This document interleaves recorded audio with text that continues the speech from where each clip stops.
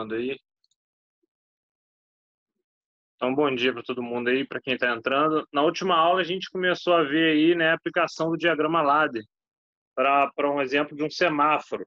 Né? A gente viu aí passo a passo quais são as etapas né, de um processo para fazer um projeto desse de automação e focamos lá no ladder para ver como um exemplo o, o caso de dois semáforos, né? E hoje eu trouxe mais alguns outros exemplos para vocês aí, para a gente ver aí, discutir, né, para entender melhor, para fixar essa questão do diagrama ladder antes, pra, antes da gente ir para o diagrama de blocos, né, o FDB. Então vamos começar aí. E aí daqui a pouco a gente fala também a questão do trabalho aí. Deixa a galera entrar. É, a gente, eu vejo com vocês aí o como é que ficou a divisão dos grupos aí. Pega o nome do pessoal.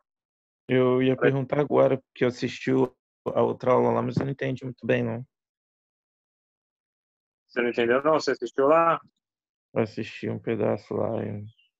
Aí eu formei não, meu o grupo. Vou até compartilhar aqui, ó. Mas... O grupo é, é um trabalho, apresentação de um sistema de, de automação usando o, o diagrama LADER né, para a programação de um CLP é, o grupo tem que ter né, um dos critérios, quatro pessoas, o ideal seria isso, ter quatro pessoas.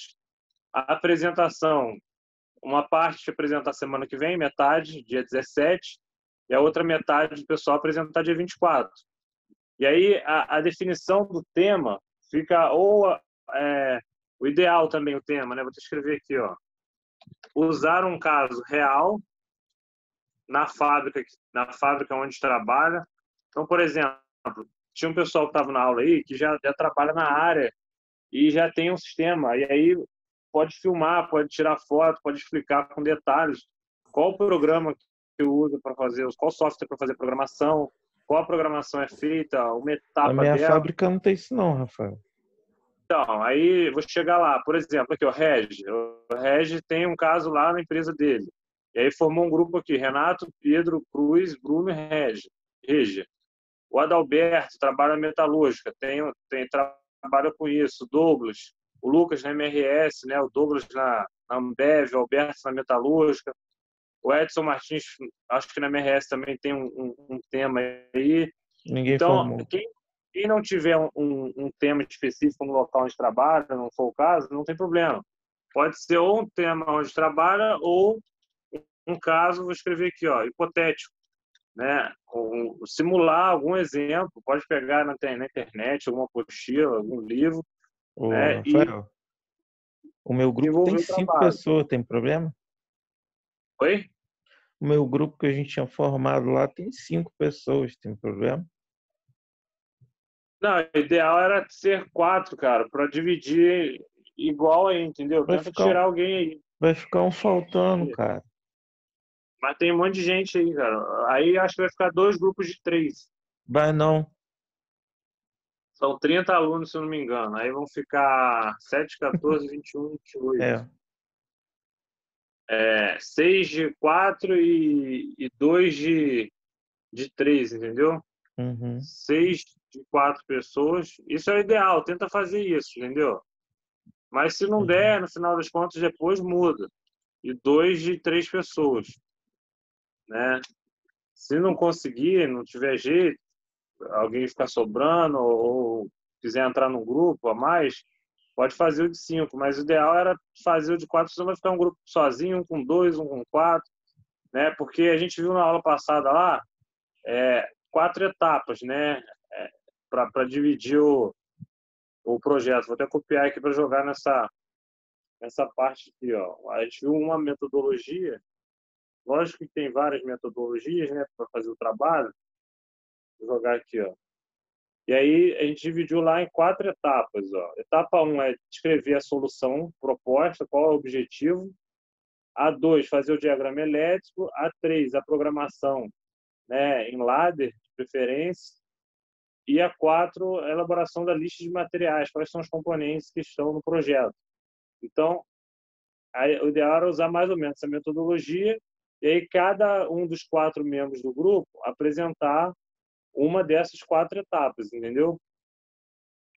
Sim, Mas fala aí, claro. que, quem- já que a gente está falando disso, quem são os grupos aí? Seu grupo é quem, não? Vou botar aqui. O meu era aí, o do Adalberto aí. Mas, Você, mas aí eram cinco, né? Por isso que eu perguntei. É, tenta dividir aí em quatro, mas vou botar o nome aqui se não der, entendeu? Porque Tá, tá. Depois a Tayan. galera, alguém muda do grupo aí. Adalberto, Norte e quem? Tayan e Vitor Mais quem? Corvino e Vitor Cândido.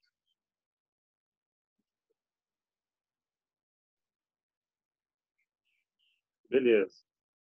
Tá. Quem mais tá aí? O o Léo. Léo tá aí. Léo já tem seu grupo, o Edson Senna. Ele já tem grupo aí para eu botar aqui?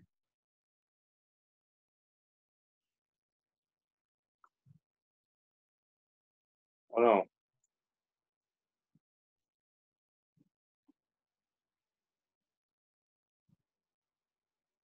O Edson Martins, né?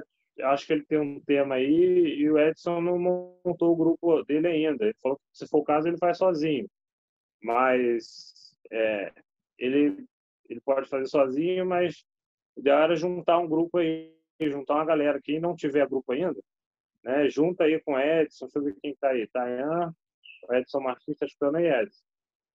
É, Alessandro. Alessandro, você já tem grupo aí? Edson Senna, você tem grupo já também? Não. Olá, Rafael, tudo bom? Tá me conseguindo me ouvir? Tô te escutando, pode falar. Os trabalhos do grupo eu tenho conseguido feito com a, com a Gleice. A Gleice? É, Fala o grupo de vocês aí, Alessandro também, Edson. Você é tem que E agora eu não lembro o, o- o grupo de cabeça agora. Não, beleza. Mas você é Gleice, né? É um grupo. Isso. Uhum. Alessandro, seu grupo é quem aí? Beleza, Edson.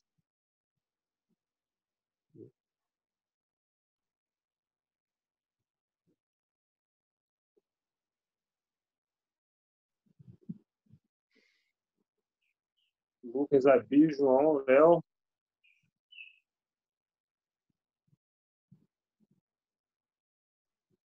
Léo, mais quem? Vou tirar aqui para o bate-papo aqui. Lucas, Abi, João e Léo. Só vocês três? Beleza. Aí vamos começar a aula aí, depois eu volto aqui nos grupos. Mas deu para entender, não? Qual é o objetivo do trabalho? Alguém, alguém ainda tem dúvida? É, qual é o objetivo? Deu é trazer entender, algum exemplo. Eu vou mostrar alguns exemplos hoje aí, até tem um exemplo interessante aqui, é, bem detalhado aqui de uma para tampar um pote e fazer a embalagem dele em 12 unidades, um processozinho de automação aqui é, a gente vai ver passo a passo o raciocínio, quais são as, as, as orientações e, e a gente desenvolve ali o, o ladder dele. Né? É um exemplo até que a gente vai ver hoje que dá para usar, a ideia é fazer um trabalho parecido com esse que eu vou mostrar hoje aqui. Né? E é isso. Okay? Aí daqui a pouco eu pego aí com o restante da galera que for entrando aí os outros trabalhos. Beleza? Mas qualquer dúvida, pode parar aí e perguntar se tiver aí. Mas você entendeu aí, né? Não. Entendi, sim. Tá tranquilo. Então, beleza. Então, vamos lá. Olha só. Vou compartilhar aqui.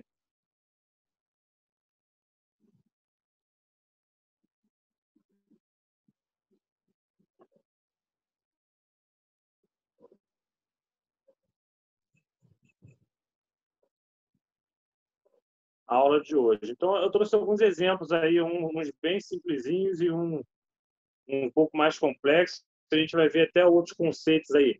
Até agora a gente tinha visto aí, né, para o diagrama ladder, contato normal aberto, normal fechado, a bobina lá no final, que é a saída, o atuador, e o contato de selo, né? No, no semáforo a gente viu basicamente é, isso. Aí vimos lá um temporizador, né? Para ligação do, das luzes. As saídas eram as luzes verde, amarelo vermelho. Né? E um temporizador para que cada momento, cada, determinado instante de tempo que a gente programasse ficasse aceso. Hoje a gente vai ver um outro projeto aí que tem algumas outras é, né, programações que a gente pode fazer em lado, né, como programações matemáticas, cálculos aritméticos, comparação né, de valores, e, e movimentação, adição, subtração, multiplicação, divisão. A gente pode fazer isso também é, com outros componentes aqui, a gente vai ver isso. Então vamos lá, olha só. Eu trouxe sete exemplos aqui: chave partida, direto, pelo triângulo, e alguns mais simples. Vou começar com os mais simples aqui, né, para a gente entender é, o princípio de, de, programação aqui. Então, olha só, exemplo 1 um aqui, ó, um alarme de alta pressão. Deixa eu minimizar a tela aqui. O circuito faz soar uma buzina e acender uma lâmpada quando a pressão atingir um valor alto, perigoso. Depois que o alarme soa, o botão ACKM desliga a buzina e deixa a lâmpada acesa. Quando a pressão baixar para um valor seguro, a lâmpada se apaga.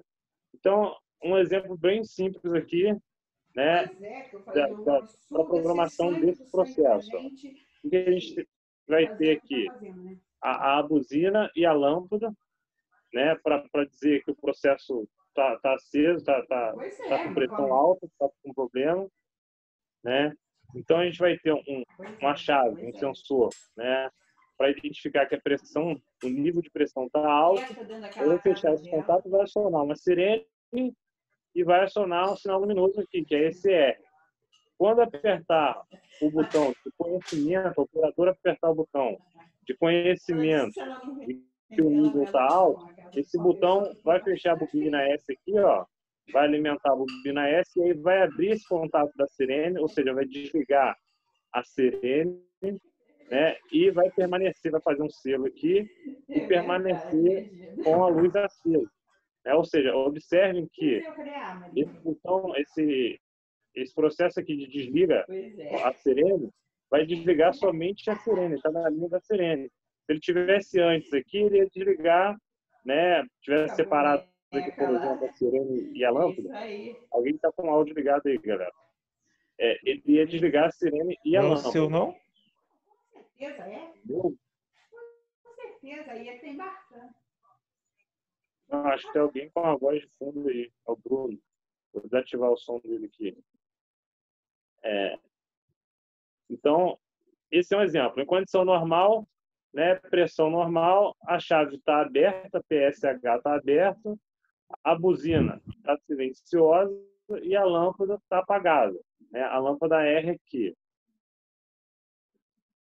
Depois, quando a pressão atinge um valor alto, perigoso, a chave atua. Então, fecha o contato aqui ó, da chave, vai energizar, tem um contato normal fechado aqui, S1, que é quando o operador tomar conhecimento, vai acionar a bobina, a, a buzina e vai acionar a lâmpada. Né? Então, ó, vai soar a buzina e vai acender a lâmpada R. Né? Essa é a condição normal, pressão alta, a chave PSH fechada, a buzina toca e a lâmpada acende. Né? E a segunda etapa depois, quando o operador toma conhecimento do alarme e aperta a chave ACKN, essa chave aqui, né, quando ele aperta um botão de conhecimento, ele vai acionar essa saída S aqui, ó, vai fechar um selo nessa saída, né, e ela, consequentemente, vai abrir aqui, ó, esse contato que está normal fechado, S1, né, da, da buzina. E aí vai desligar a buzina, porém a lâmpada vai continuar acesa. Quando o operador toma conhecimento do alarme e aperta a chave ACKN, a bobina S se energiza, trocando seus contatos S1 e S2. Então ele fecha um selo aqui, ó, e abre o botão da buzina. Então S1 abre, deslizando, desligando a buzina, e S2 fecha, mantendo a bobina S energizado. Né? Então, depois de apertada a chave ACKN, S2, que é o selo, se mantém ligado e a lâmpada acesa. E S1 abre a buzina, se cala. Né? Então, é um exemplozinho bem simplificado aqui, é para entender. Aqui está representado até é, a simbologia de forma não está toda assim em ladder, né? Contato aberto, fechado, bobina, já está já tá mostrando o que que é a sirene, o que que é a lâmpada e o que que é o botão do sensor de pressão alta, né? Também pode se representar assim. Mas aí, quando for usar um software, a programação dele, aí tem que usar a simbologia da programação. Aqui é como se tivesse feito à mão, né? Só para explicar. Então, esse é mais um exemplo aí para a gente entender né, qual é o princípio de ligação da, do diagrama LAD. Lembrando que a gente começa da parte superior e vai descendo né, na coluna aqui e da esquerda para a direita. Beleza? Alguma dúvida nesse exemplo aí?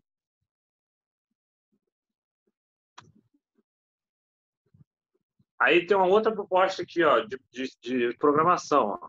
Controle de uma bomba e duas lâmpadas com chave de nível. A chave de nível opera o start do motor, a bomba enche um tanque com água. Enquanto o nível do tanque receptor estiver baixo, a chave liga o motor da bomba e acende uma lâmpada. Então, se o nível do reservatório estiver baixo, vai acionar um motor e vai acender uma lâmpada para dizer que esse motor está em funcionamento e vai começar a atingir, a, a, a preencher, encher um reservatório. Quando o nível atingir o nível máximo, tanque cheio, a chave desliga o motor e a lâmpada R, que era a lâmpada que o motor estava ligado, e acende uma outra lâmpada, a lâmpada A. Então, é como se fosse uma lâmpada verde, motor em funcionamento, e lâmpada vermelha, por exemplo, motor, motor desligado. É parecido com o exemplo que a gente viu semana passada, acho que foi semana passada que a gente viu um aí no, no reservatório. E se o motor se sobrecarregar, o motor é desligado, mas a lâmpada R continua acesa, né? Para dizer que o motor está desligado. Então, se houver uma sobrecarga lá no relé térmico, alguma coisa, ele vai desligar o motor e a lâmpada vermelha, a lâmpada R, né, informa que sinaliza que o motor continua desligado. Então, olha só, quando o nível estiver abaixo do máximo normal, a chave LSH está aberta, né? Então, ó, a lâmpada R está acesa quando a gente energiza. A lâmpada R está acesa e o motor está em funcionamento. E a lâmpada A está apagada. Então, o motor está funcionando para encher o nível do reservatório e a lâmpada R, que representa o motor ligado, está acesa. Né?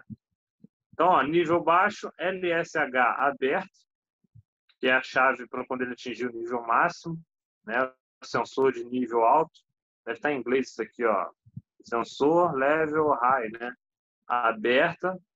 É, o motor M está ligado, está energizado, assim que ligou, ele identificou que está abaixo, o sensor máximo não está energizado, né?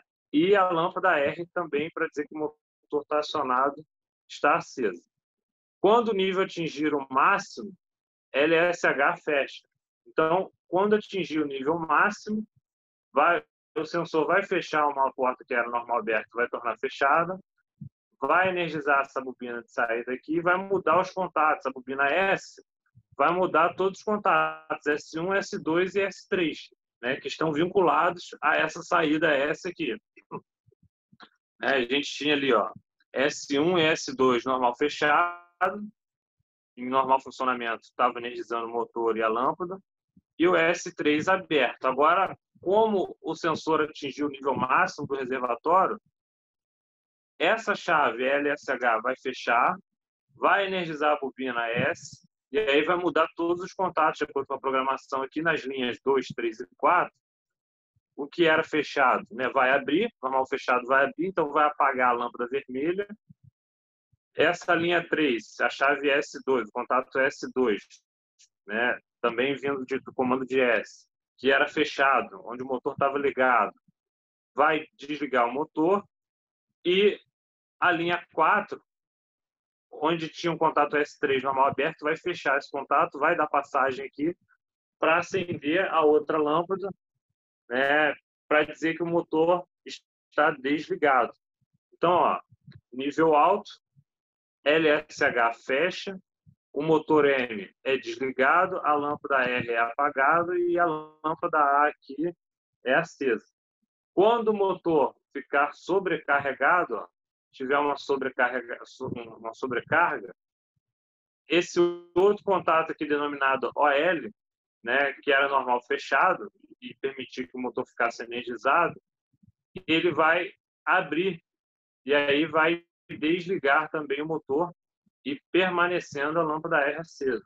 Então, lá no início, motor funcionando e lâmpada de motor funcionando acesa. Né? Se tiver uma sobrecarga no motor, ele vai desligar o motor né? e vai permanecer essa lâmpada acesa, né? mantendo a lâmpada R acesa. Foi foi proposto no projeto aqui. Então, isso é um outro exemplo né, da, da programação aí. Deu para entender isso daí? Tranquilo? Alguma dúvida?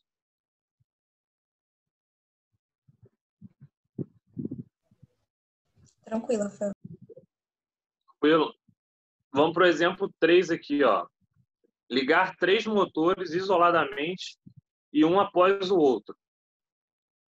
E uma parada desliga todos os motores. Qualquer sobrecarga desliga todos os motores, né?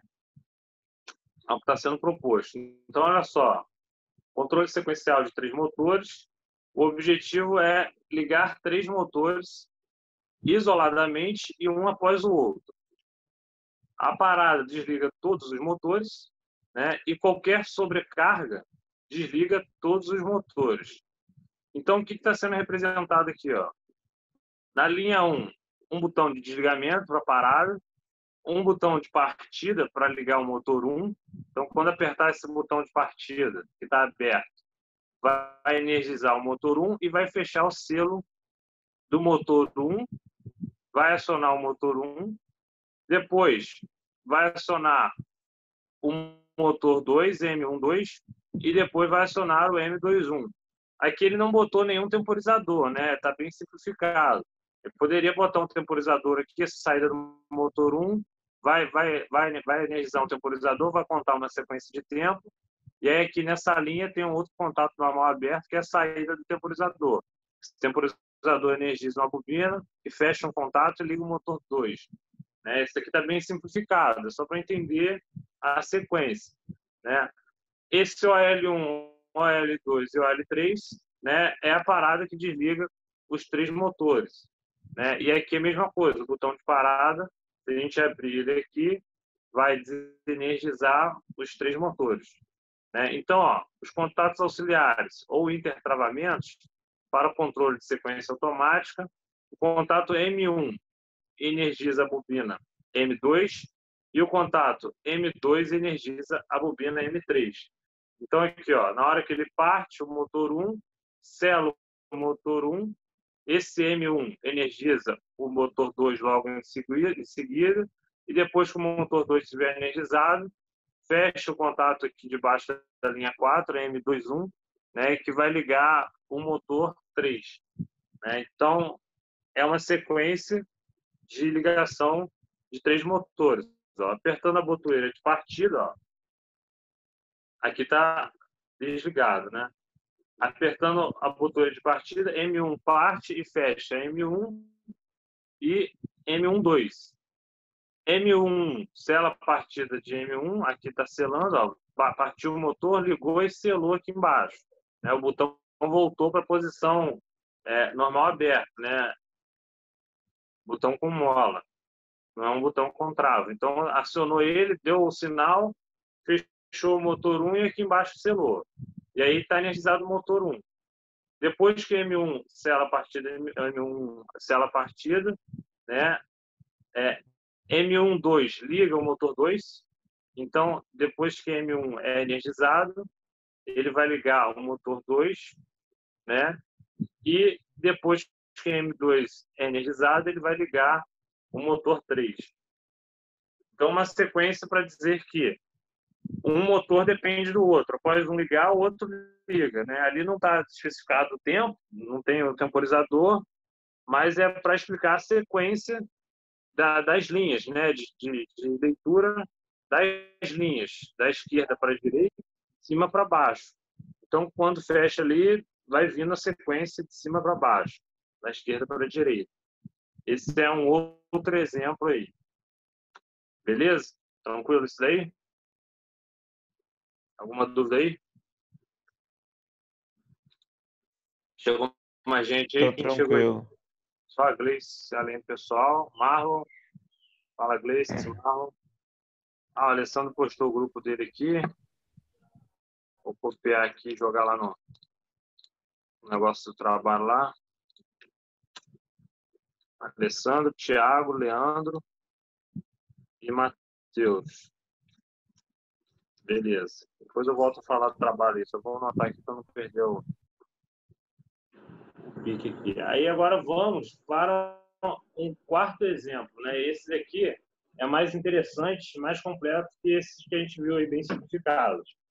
Né? Esse é mais para ver o basicão mesmo. Então agora tem um exemplo aqui. Deixa eu tirar o modo de apresentação para compartilhar. Que é é preciso que vocês tenham mais atenção agora para entender isso daí. Senão vai perder a sequência e não vai entender o, o funcionamento. É um, um, estudo de caso que eu achei que bem interessante, cara. Até do, de um fabricante de software, de programação. E aí ele né, mostra passo a passo é, um, um exemplo, né? Qual que é o objetivo aqui, ó? É uma linha de produção que ele tem ali potes de doce de leite e aí vem o pote sem tampa, já com doce de leite, por exemplo, né? Um exemplo aqui.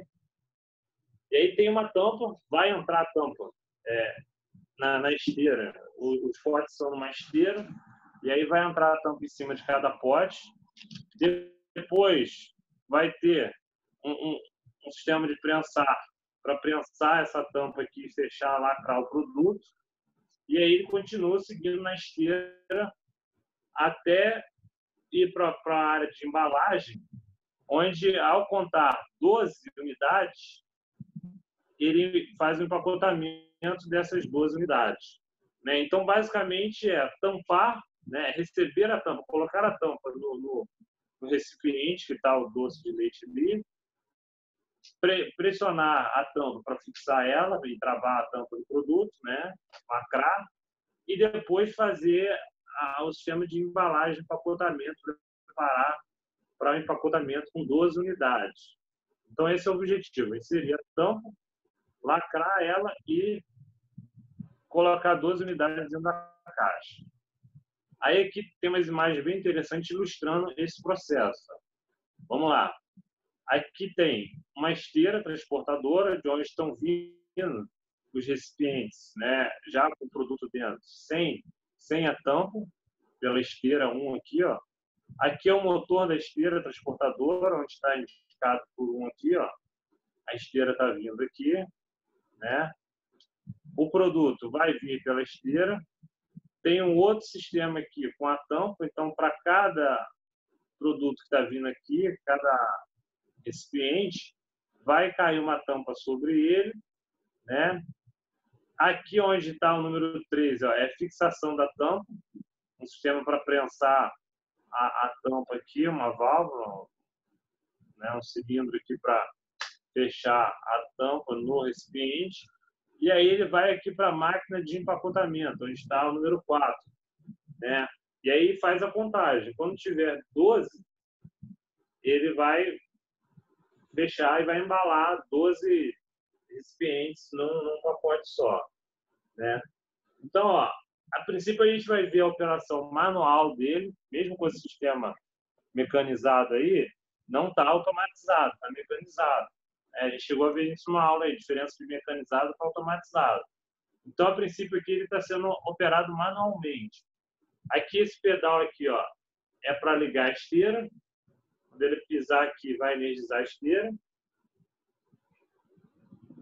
Esse botão preto ele vai prensar quando ele vê o, operador né, no olho, ele vai ver que chegou no nível aqui, ó, ele vai, ele vai tirar o pé do pedal, vai parar a esteira, vai apertar esse botão preto aqui para lacrar a tampa do recipiente, né?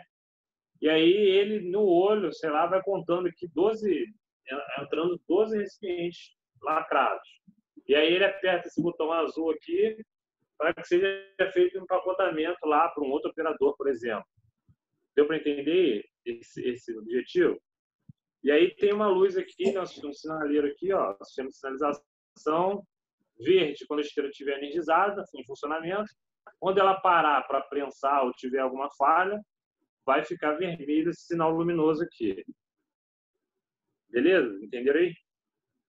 Sim. Aí vamos lá, vamos identificar agora os dispositivos atuadores. Ó. Quais são os dispositivos atuadores aí? Que, que exercem ação sobre o processo. Ó. A gente tem o motor da esteira, né? uma, seria uma saída do CLP, ou seja, quando a gente estiver automatizando ele, o motor é uma saída, vai estar energizado, vai, vai ligar ele. Quando a gente apertar o botão aqui, ó, o, o pedal, né, vai energizar o motor. Então, por exemplo, o, botão, o pedal é uma entrada e o motor é um atuador, é uma saída. O cilindro, né, para fixação, o cilindro pneumático aqui para fixação da tampa.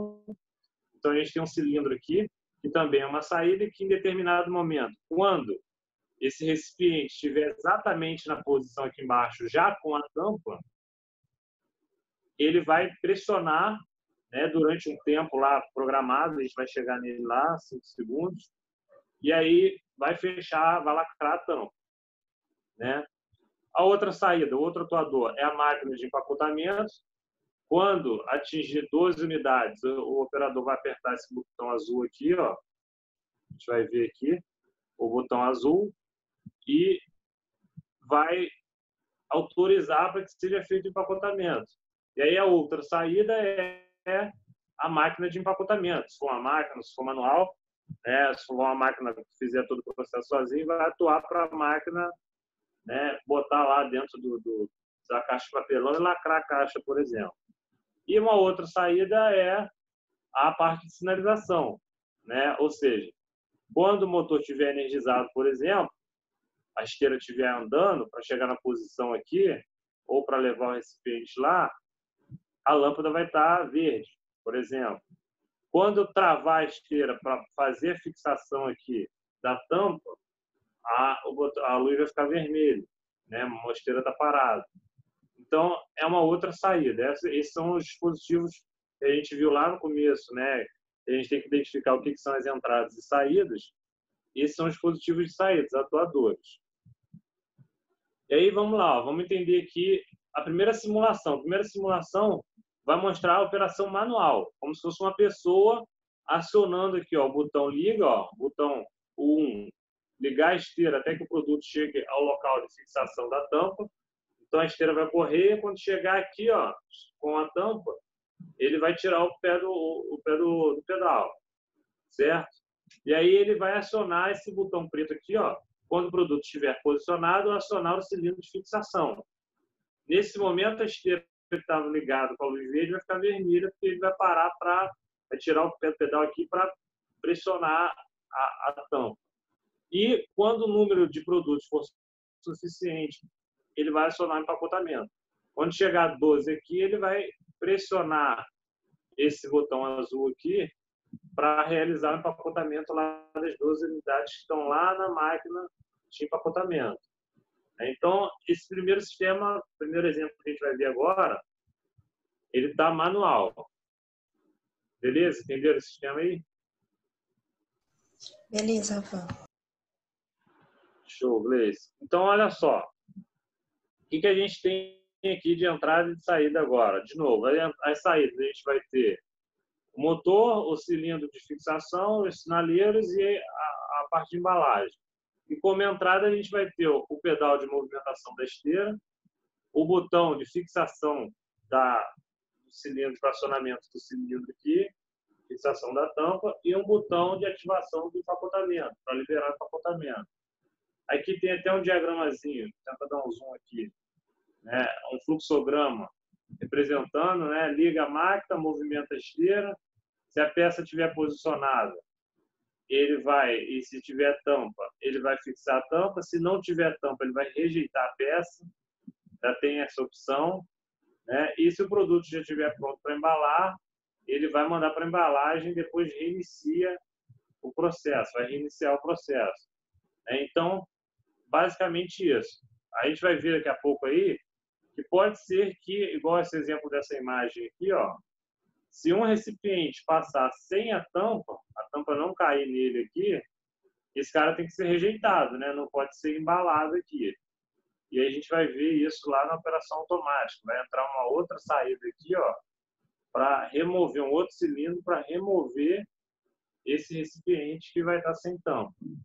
É, então, agora a gente identificou as entradas e saídas aí, ó.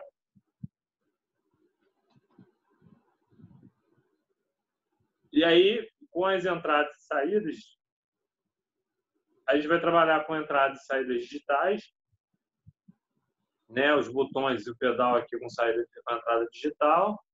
E as saídas, né, digitais da lâmpada e da válvula e um relé acoplador, um relé acoplador para ligar o motor e o, a empacotadora, né, um relé de acoplamento ali para dar o sinal digital e ele acionar a contatora, o circuito de potência da contatora ali, né, através de CLP. Então, até agora, a gente fez algumas etapas para a implantação da automação. Conhecemos o processo, fizemos o conhecimento do processo, levantamos as entradas e saídas, o número de entradas digitais e analógicas, o número de saídas digitais e analógicas.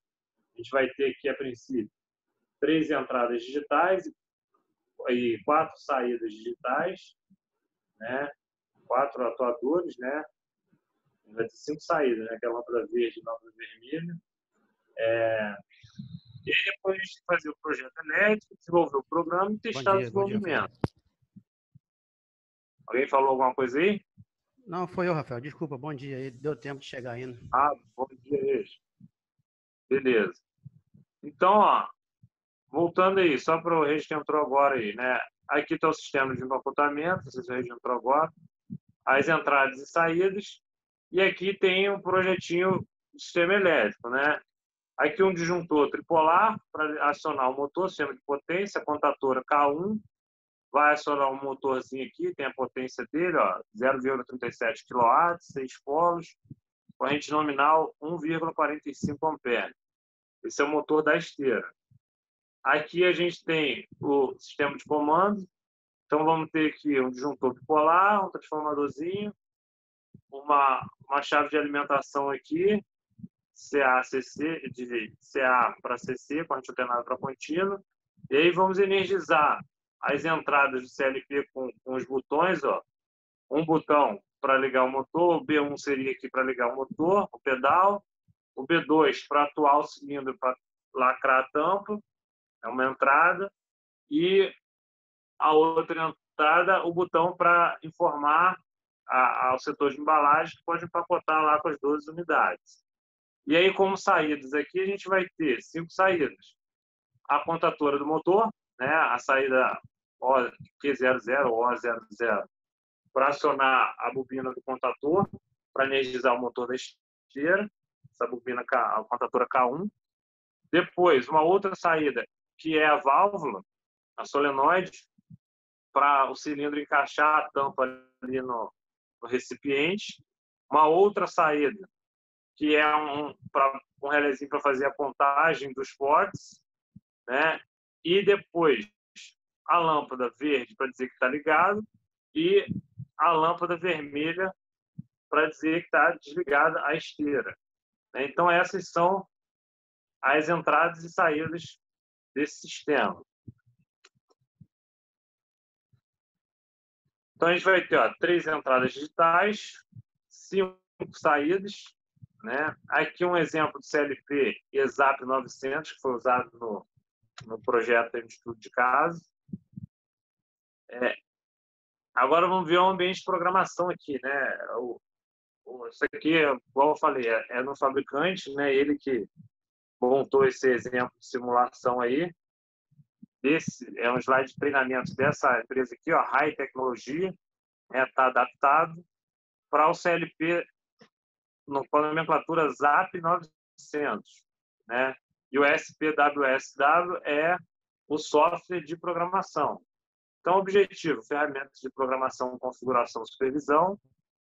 É um software gratuito, com disponibilidade de atualizações, as linguagens de programação e plataforma única de desenvolvimento.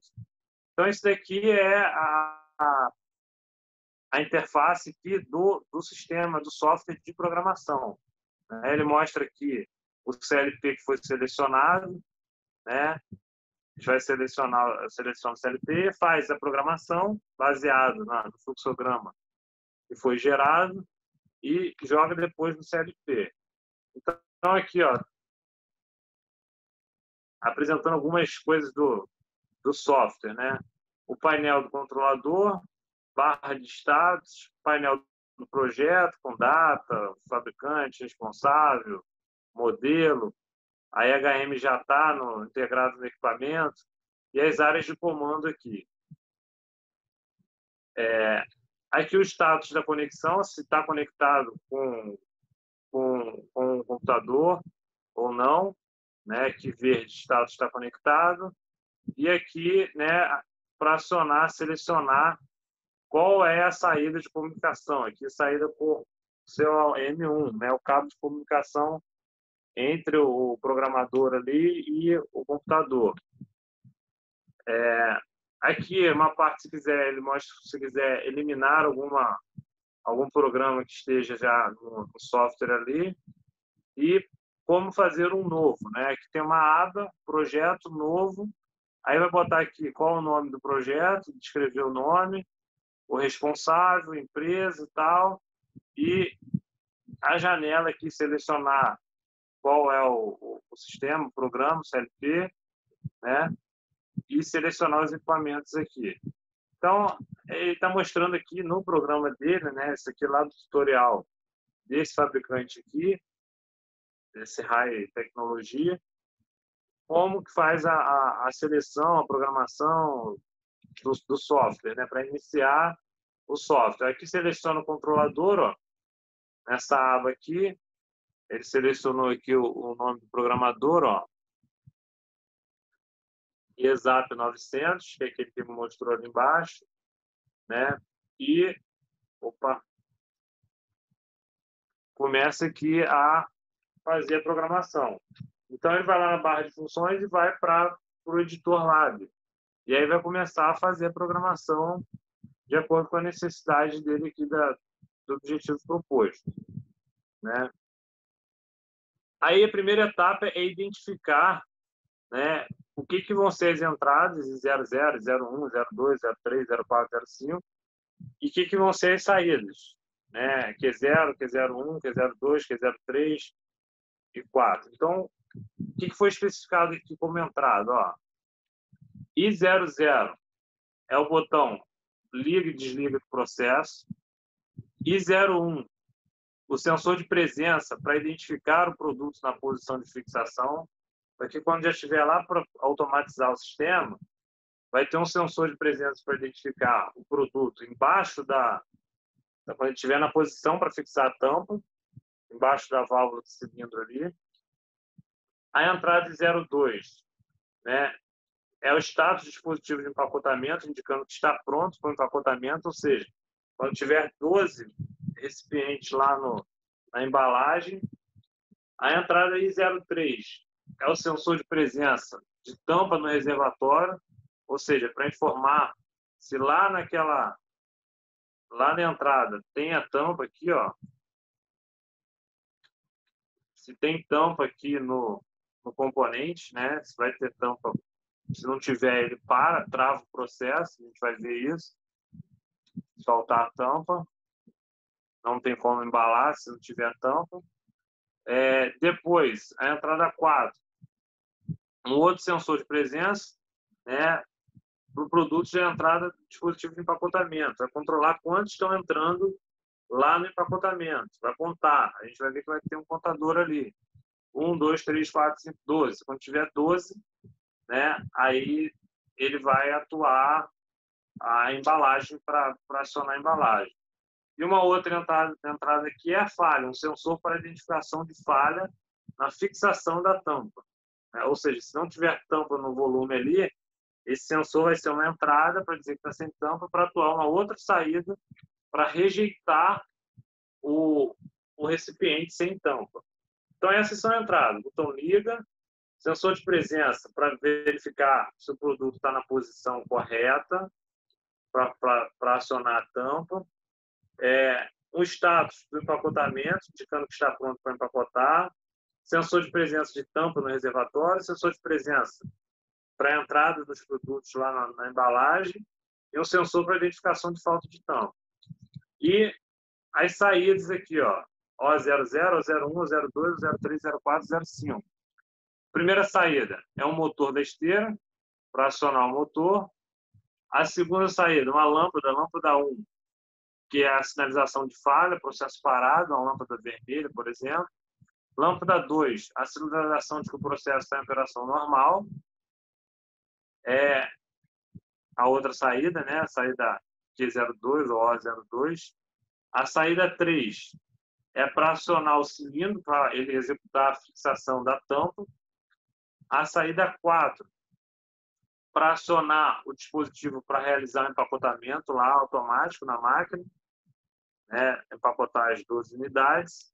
E uma outra saída aqui, uma saída 5, é um novo cilindro que vai ser inserido ali na, na, naquele layout ali, naquela imagem, para rejeitar um produto com inconsistência, ou seja, rejeitar um produto sem tampa. Né? Se por acaso vier aqui ó, um produto sem tampa, não tem como você pressionar o cilindro para fechar a tampa. Vai ter que botar um outro cilindro aqui para ejetar, para tirar esse cara aqui da linha de, de da esteira aqui, para ele não ir para a embalagem, para empacotamento. Né? Então, esse aqui é o que seriam as entradas e saídas lá no, no CLP, né? para depois fazer diagrama LADER. Então, vamos lá. Vamos identificar agora no processo todas as entradas e saídas. Ó. Por enquanto, ainda manual. Né? O, o botão, o, o pedal de acionamento para ligar o motor da esteira. Então, uma entrada é o pedal de acionamento, que vai acionar a saída de ligar o motor da esteira e vai acionar a lâmpada verde junto. Quando ligar esse botão em 00 aqui, vai acionar o motor da esteira e vai acionar a lâmpada verde, para dizer que a esteira está energizada. Quando o operador ver que o recipiente está aqui, ele vai apertar essa entrada, a próxima entrada I01, que é esse botão aqui, para acionar a saída aqui, ó, Q03. Ele vai acionar a saída Q03, que é para acionar a tampa, botar a tampa no recipiente, e essa saída aqui, ó, O001, que é a lâmpada vermelha. Né? Ou seja, vai parar e vai parar a esteira. Vai parar a esteira, vai desligar ali o 00, vai desenergizar o 00, e aí vai desligar o motor, vai acionar o 001, que é esse botão aqui, para acionar a tampa e acender a lâmpada né, é, vermelha ali que o processo está parado. Depois, conforme ele for fazendo esse processo, liga, desliga, corre esteira, faz a selagem aqui da, da tampa. Quando chegar lá, ele vê que ele já passou 12 volumes, 12 recipientes, esse botão I02 aqui, o botão azul, vai acionar a embalagem dessa saída aqui, 04, O04, né, para ele fazer a finalização ali e embalar 12 unidades. Ainda, a gente ainda está na operação manual aí. Deu para entender? Ainda não colocamos os sensores nos locais aí. Deu para entender agora aí ou, ou não? Estão acompanhando aí? Deu sim, Rafael. Se não tiver aí, fala aí, galera. Beleza, Luiz. Então, vamos lá. Agora vamos seguir as etapas né, para a implementação do programa LADER. A gente vai ter várias etapas e vai vendo desenvolvimento de LADER por etapas, para cada objetivo. Né? Não, vai, vai gerar tudo de uma vez só, não. Vou mostrar, a gente vai ver passo a passo. Então, etapa 1 aqui, ó. Primeiro objetivo, ativar o motor da esteira e a sinalização do processo, ou seja, Quando ele acionar a entrada em 00, vai acionar a saída Q00, que é o motor, e vai acionar a saída Q02, que é a luz acesa. Essa é a primeira etapa. E a segunda etapa, a gente vai ver a etapa 1 e 2 juntos aqui, ó, é o acionamento do cilindro de fixação e da máquina de empacotamento. Né? Ou seja, a saída em 01 para acionar o cilindro, a entrada em 01 para acionar o cilindro Q03 e a entrada em 02 para mandar empacotar lá na, na saída 04. Então vamos lá, vamos descrever aqui quais são as lógicas que a gente vai precisar né, implementar. Para acionar a esteira, a gente vai ter essa sequência aqui. Ó. Ligar o motor, que é a saída O00, se a chave de liga da esteira estiver pressionada. É, qual que é a chave de liga? É o, o pedal. Então, quando a gente aperta, a chave de liga é o pedal. Quando a gente estiver com o pedal acionado, vai ligar o motor da esteira. Depois, ligar a sinalização do processo em operação, Q00, lâmpada verde, se a esteira estiver ligada. Então, se a esteira já estiver ligada, a gente vai ligar também o Q02, né, para dizer que está energizada, a esteira está tá rodando, está tá girando. E depois, ligar a sinalização de processo parado, Q00, lâmpada vermelha, se a esteira estiver desligada ou em falha. Então, esse botão aqui, se estiver energizado, vai ligar o motor e a luz verde. Se ele estiver ligado, luz 00, a entrada 1, se a gente der o sinal lá para a entrada de 00. Se ela não tiver, não vai acionar o motor, não vai acionar a lâmpada verde, vai acionar a lâmpada vermelha. Né? Então, o contato que era normal aberto para ligar o motor, quando a gente der esse sinal, vai ser normal fechado para acionar a luz vermelha. Né? E a etapa 2, a descrição da etapa 2.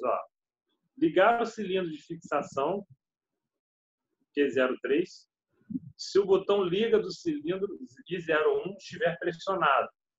Então, quando a gente acionar, ele na posição aqui e acionar o I01, tem que ligar a saída lá no CLP para ele energizar essas válvulas solenoide aqui do cilindro de fixação fixação da tampa. Né?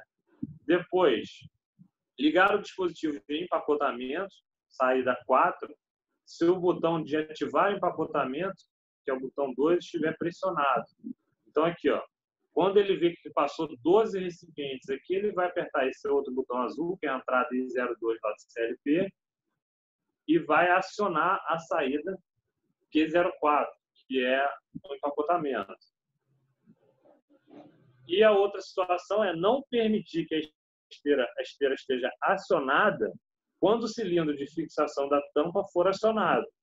Então, manter a sinalização do processo em operação Q02 acionada durante a etapa de fixação da tampa. Né? Então, o Q02 vai estar ligado durante a fixação da tampa. Né? Aqui, ó, a luz verde. Porém, o motor não pode estar energizado quando a gente operar a fixação do, da tampa aqui. Beleza? Então, ó, esse aqui é o diagrama ladder agora para essas primeiras etapas que a gente tem aqui. Ó. Vamos lá, vamos entender aqui o que foi feito. Ó.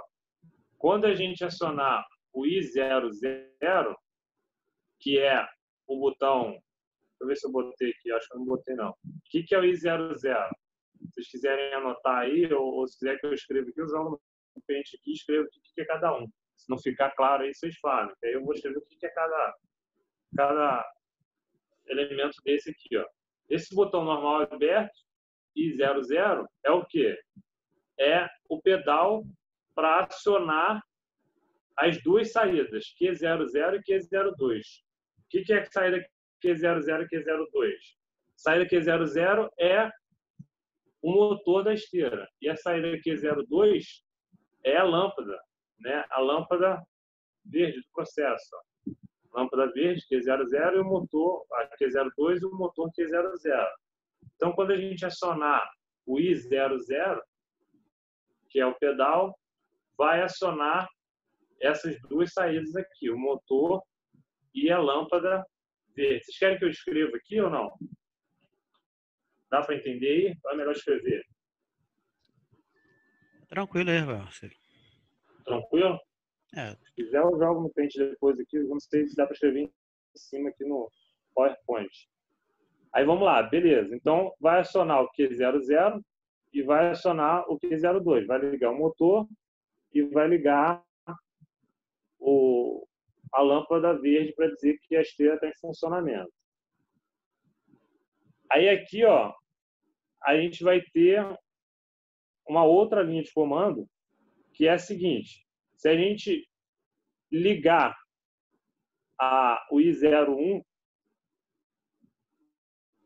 que é a válvula para acionar a, a tampa, a fixação da tampa, vai acionar a saída Q03. Então, aqui, ó, quando a gente acionar o I01, que é o botão para acionar a válvula de, de lacre da tampa, vai acionar o cilindro pneumático ali, a válvula, para lacrar a tampa, e vai também acionar essa saída aqui, ó, Q01, que é a lâmpada vermelha, para dizer que o processo está parado, ó, Q01.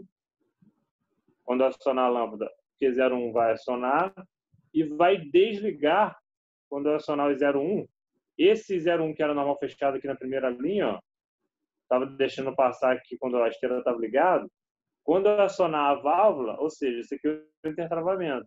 Quando eu acionar a válvula de lacre da tampa, vai desligar, isso aqui que é normal fechado vai ficar aberto, ele vai desligar a lâmpada verde e vai desligar o motor. Então pressionei, chegou na posição, né, aperta o botão e vai causar essas consequências. Vai ligar a válvula, vai ligar a válvula aqui, vai ligar a luz vermelha e vai desligar a luz verde e o motor. Estão aqui, Q00 o motor, I02 é a luz verde, né, O02. Entenderam aí? Deu para entender isso? Tranquilo? Tranquilo. E a última condição aqui, ó, é o I02, que é o empacotamento.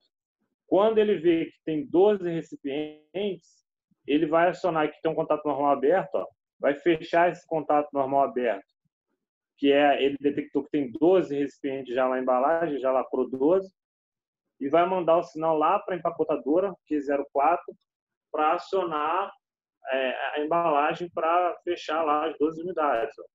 Então, aqui, ó, o I02, esse botão aqui, quando apertar ele, vai mandar lacrar lá as 12 unidades. Então, esse é o, o esboço do projeto, a primeira etapa, é o começo. Essa é a descrição da, das funcionalidades implementadas, quais são as condições que a gente tem, o que, liga o que. Né? Tipo que vocês fizeram lá em eletrônica digital, se bota né, ou, e, end, né? É bem parecido com, a gente vai ver depois o diagrama de blocos, também é bem parecido com, com, com, com lógica, né? Então, beleza. Isso daí é a primeira etapa, etapa 1 e 2. Para acionar o motor e a luz verde, está aqui. Depois, se vocês quiserem, depois, antes de eu postar o slide, eu vou botar os nomes aqui. Então, a gente tem que estar voltando toda hora, né? Podia ter feito isso antes. Eu fiz lá em outros, outros slides lá na frente, eu acho que eu fiz. É, ligar o motor e ligar a lâmpada verde. Depois, ligar o cilindro e ligar a lâmpada vermelha e desligar o motor e a lâmpada. E aqui ligar a empacotadora. Então, essas são, essa seria o ladder aí para essas condições. Aí, até então, tá tudo manual. Isso aqui é um ladder para o acionamento manual. Né? Dessa forma que estava, o operador ligando e desligando as coisas. Né? Esse é um ladder simplificado aí para operação manual. Agora, a gente vai substituir esses dispositivos é, operados manualmente por sensores, ou seja, agora que vai automatizar o processo, vai, vai fazer o controle programável né, do, do, do processo. Então, olha só, Vamos substituir a percepção humana por sensores. Que elementos substituem a percepção humana? Como identificar falhas e eventos de forma automática?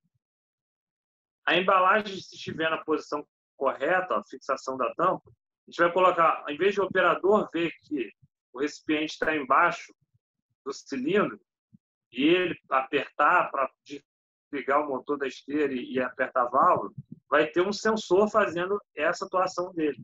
Então, por isso que lá naquele, lá embaixo, quando eu mostrei as entradas, já estava considerando essa situação aqui, ó, um sensor para determinar que o pote está na, no, no, local para acionar o cilindro. É, essa, essa especificação aqui, ó, a gente, guarda, a gente vai voltar nela daqui a pouco. Aqui já está o sensor para fixação, ó, esse sensor I01 aqui, ó, sensor de presença para identificação do produto na posição de fixação. Então, aquele ladder ali já é, aquela nomenclatura ali já é para substituição, já depois de ter substituído a operação humana por um sensor. Então, o primeiro sensor é esse. Ao invés de o cara ver que o recipiente está embaixo da válvula, um sensor que vai identificar isso. Outras coisas, né, que a gente vai colocar aqui, ó, um botão liga e desliga no processo, em vez de ser o pedal, a gente vai botar um botão liga e desliga. Um sensor de, de presença para identificar o produto na posição de selagem, que é aquele que a gente acabou de ver, né, para tampar um outro sensor para contabilizar o número de produtos dentro da máquina de empacotamento. Então, lá na máquina de empacotamento, a gente vai ter um outro sensor aqui, ao invés de o cara contar no olho 12, né, e tem chance de erro, vai, vai ter um sensor aqui para contabilizar quantos recipientes estão entrando aqui na máquina empacotadora. Né? Um outro sensor de proximidade para verificação da existência de tampa então, a gente vai ter um outro sensor aqui, ó, para identificar se tem tampa no sistema, se essas tampas estão disponíveis para entrar nos recipientes aqui. Ó. Se não tiver tampa, não tem como dar continuidade no processo, tem que interromper. E o sinal da máquina de empacotamento indicando disponibilidade para um novo processo de empacotamento. Então, a máquina que vai dar o sinal para indicar que pode dar continuidade no processo de empacotamento. E aí, vamos identificar agora esses sensores. A gente vai retirar o que tinha aqui, ó, tinha um pedal aqui embaixo, tinha o botão de acionamento da válvula, de acionamento da empacotadora, e agora as entradas vão mudar. Aquelas três entradas que a gente tinha vão virar agora cinco entradas aqui. Ó. Quais são essas entradas? O botão liga para ligar o motor da esteira e zero 0, o sensor de posição para lacrar a tampa aqui, 01, o sensor 02 para contabilizar quantos recipientes estão entrando na máquina, o sensor I03 para verificar se tem a tampa para tampar o recipiente e o sensor I04 aqui para depois que embalar, né, a embalagem estiver ok, ele mandar embalar próximo, próximo dar continuidade no processo. E agora entrou aqui também ó, uma saída aqui na esteira, que é uma, um outro cilindro que está aqui embaixo, ó, isso aqui já é a saída, por isso não está representado ainda, para rejeitar o recipiente que estiver sem tampa. Se passar recipiente e por acaso tiver alguma falha que é a falta da tampa, ele vai deslocar esse cara aqui e retirar ele do sistema para não ir né, para empacotar sem tampa. Então, aqui, ó, sensor de contagem, sensor para ver que está embalado, sensor de atuação da válvula da tampa, sensor para ver se tem tampa no sistema e o botão para ligar o motor. Então, aquele sistema que era né, semi-automatizado aqui, mecanizado, né, operado por um manualmente, com um operador, por botões e, e pedais, agora ele está automatizado, está né, com sensores. Então as entradas mudaram. A gente três entradas agora vão ser cinco. Aí aqui tem um novo fluxograma, fluxograma para esse novo processo. A gente vai dar início. Existe tampa no motor? Sim. o mouse está ruim aqui. Existe tampa no motor? Sim. Tampa no alimentador, aliás? Sim. Aí a tampa está posicionada? Sim. Então vai fixar a tampa, tal. E aí vai para a embalagem. Se a embalagem estiver pronta para embalar, vai embalar tudo. Se não tiver, volta, né? Quando é não, vai recarregar o alimentador, se não tiver tampa. Se não tiver pronto para embalar, volta a movimentar a esteira até atingir os dois, né? E assim vai. E aí vamos para as próximas etapas. Então a gente fez o diagrama ladder ali das etapas 1 e 2, que eram os acionamentos. Né? Agora a gente tem etapa 3, 4, 5, 6 e 7. Ou seja, esses sensores que entraram aí vão atuar no processo. E aí vai mudar a programação agora. Então, olha só, etapa 3. Tratamento da falta de tampa no reservatório. Se tiver uma falta de tampa, tem que desligar o sistema. Etapa 4. Temporização da fixação da tampa, ou seja, quanto tempo aquela válvula vai ficar ali né, e vai voltar à posição inicial. Etapa 5. Sinalização da falta de tampa. Etapa 6 fixação automática da tampa do produto e etapa 7, empacotamento automático de produtos. Então, vamos de novo ver essas próximas etapas agora detalhadas. Ó, etapa 3, verificar a presença de tampa no reservatório. Funcionalidades a serem implementadas. Aí vamos lá. Se não houver tampa no alimentador, que é o sensor I03, parar a esteira Q00. Vou voltar aqui, ó, vou até copiar esse slide aqui para uma outra posição aqui. Vou voltar nele mais fácil aqui. Então, olha só, as condições de funcionalidade agora. Se não houver tampa no alimentador, ou seja, não tiver tampa aqui, de acabar a tampa no, no alimentador de tampa, sensor 03 vai atuar e parar a esteira que 00. A saída 00 aqui era a esteira. Vai desligar a esteira. Nessa condição, a sinalização do processo parado, o Q01 deve ser acionado. Né? Então, o Q01 era a lâmpada vermelha.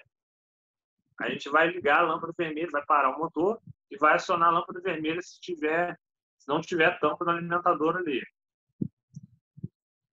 E a sinalização né, de operação do processo Q02 deve ser desligado. Então, vai desligar a lâmpada verde e ligar a lâmpada vermelha.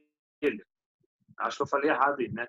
Quando a gente, o sensor detectar a falta, ele vai desligar o motor, vai ligar a luz vermelha e vai desligar a luz verde, que é o funcionamento. E depois, a esteira, que é o motor da esteira aqui, ó, que é zero, deverá permanecer desligada até que a chave ligue e desliga do processo e 00 seja desligada e ligada novamente. Então, o processo só vai ser reiniciado depois que o operador colocar aqui, abastecer né, as tampas, que, que era o problema, e aí ele vai desligar e vai ligar o motor de novo.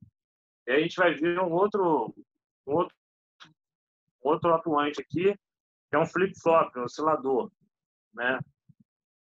A gente muda o sinal dele e muda o estado da saída ali. Aí a gente tem que ver alguns conceitos aqui que a gente ainda não viu com detalhe. Então, essa etapa 3 aí, deu para entender qual é o objetivo aí? Tranquilo? Estão acompanhando aí? Eu tá, tá bagunçado, já tá bagunçado. Se quiser que volte alguma coisa aí, vocês falam.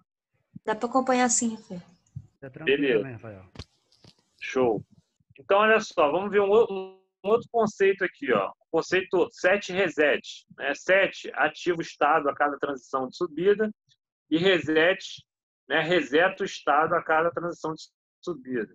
Então, quando a gente tem um sinal na entrada aqui, ó, na entrada 7, a gente vai ligar a saída e se for na entrada reset, vai desligar a saída. Então, a cada sinal aqui, ó, se for no 7, vai ligar aqui, ativar, na reset vai desligar. É, isso é uma operação. Ó. Vou mostrar o bloco aqui para vocês. Ó. São utilizados com muita frequência esse bloco de memorização, pois tem a, fun a função de memorizar um bit, né? a função executada. Então, ó, set significa ligar e reset significa desligar.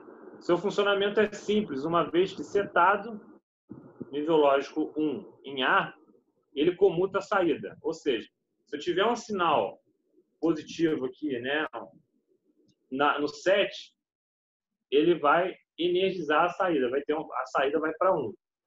E somente volta para o nível baixo se for resetado, ou seja, se eu tiver um sinal aqui no reset, a saída volta a ser zero. Entendeu? É, é exatamente o objetivo ali do, daquele botão liga e desliga para reiniciar a máquina. Né? Então, ele vai aqui, ó, setar, que é a saída fica 1 e resetar a saída fica 0. Aqui tem uma tabela verdade para analisar as condições. Ó. Se tiver zero, não tiver nenhum sinal em A e nem em B, a condição fica a condição anterior, a saída não muda. Se estiver ligado, fica ligado, se estiver desligado, fica desligado. Depois, se a gente tiver na entrada A aqui, que é o 7, nenhum sinal, e jogar um sinal aqui em B, a saída B, que, que vai acontecer? Vai resetar o sistema. Aqui, ó, vai zerar a saída, S. Depois, se a gente tiver um sinal 1 na entrada 7 e 0 na reset, a saída vai ser 1, ou seja, vai energizar a saída aqui desse cara, desse bloco. E uma condição proibida é estar 1 e 1, 7 e reset, né? aí é uma condição proibida. Então, qual é o ladder correspondente a esse sistema 7 reset? Se a gente tiver um sinal, né, uma entrada, né, um sinal na entrada A, esse contato normal aberto de A aqui vai fechar e vai setar o sistema, ou seja, o que estava numa posição vai mudar para a posição ligada, de desligado para ligado. Se a gente botar um sinal 1 aqui na entrada B, vai fechar esse contato B e aí a saída S vai desligar. O sinal que era 1 vai virar 0. Né? Então, esse é um bloco de memorização. A gente vai ver alguns blocos aí de, de, de matemática, de, de set reset, temporizador a gente já viu, contador também. Né? Então, esse é um botão que a gente não, não tinha estudado ele com detalhe. Esse é o objetivo dele. Se a gente dá uma entrada em A, a saída fica energizada. Se a gente dá uma entrada em B, a saída fica desenergizada. Se não tiver nada nem A nem em B, a saída permanece como estava antes. E se tiver entrado nos dois, é inviável, não pode acontecer essa condição. Né? Deu para entender aqui o diagrama lá o objetivo do, do, 7, do, do bloco 7 reset? Aí vamos lá. Então, ó, aqui eu botei, eu até identifiquei para a gente entender melhor o ladder agora. Ó. Vou copiar aqui de novo Vou mover esse cara aqui. Eu tinha botado para cá, vou botar aqui embaixo para a gente analisar aqui o ladder agora. Então, olha só, o sensor da tampa. Né?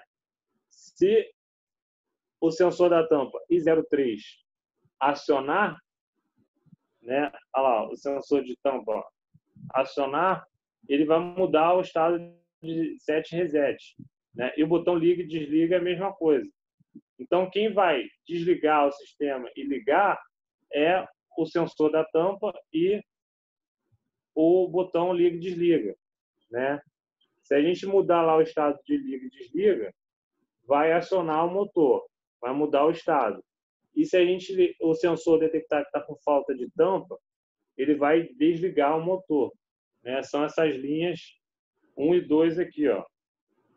Aqui ele vai acionar o reset, vai desligar a saída e aqui ele vai ligar o set, né? Vai, é, vai, vai reenergizar a saída do botão aqui, ó, o botão liga e desliga, né?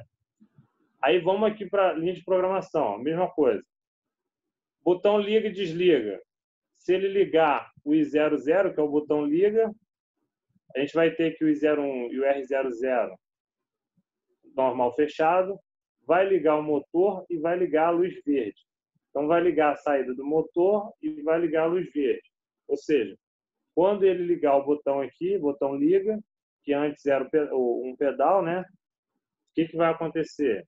Vai fechar esse contato em 00, né? E vai acionar aqui o motor e a luz verde. Vai ligar a esteira. Depois, aqui embaixo, ó, tem um botão liga e desliga. Para desligar, se for o caso, se ele desligar, a luz vermelha vai acender. O I00, que é a prensa tampa, o I01, aliás, prensar a tampa, ou seja, se ele apertar o I01 aqui, para prensar a tampa, ele vai acionar a luz vermelha e esse contato normal fechado aqui, ó, o I01, vai abrir. E aí ele vai desligar o motor e vai desligar a luz verde, né? E vai também ligar aqui no I01, ó, prensar a tampa, que é 03, né? a saída 3.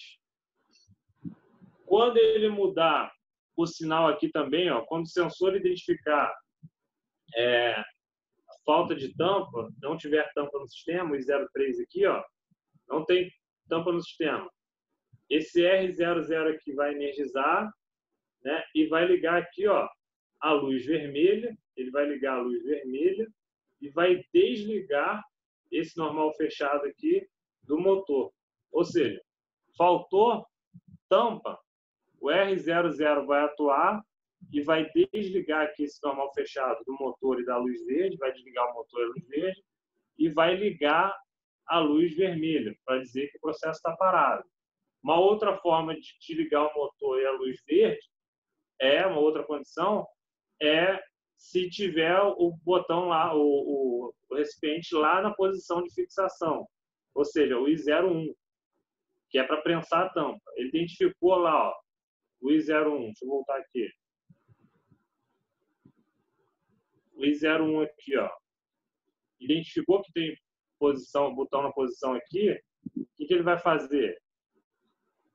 Ele vai ligar a luz vermelha, vai desligar o motor e a luz verde, que era normal fechado, vai desligar o motor a luz verde, vai fechar a luz vermelha, vai ligar a luz vermelha e vai ligar também aqui, ó, o cilindro para pressionar lá a tampa o Q03, né?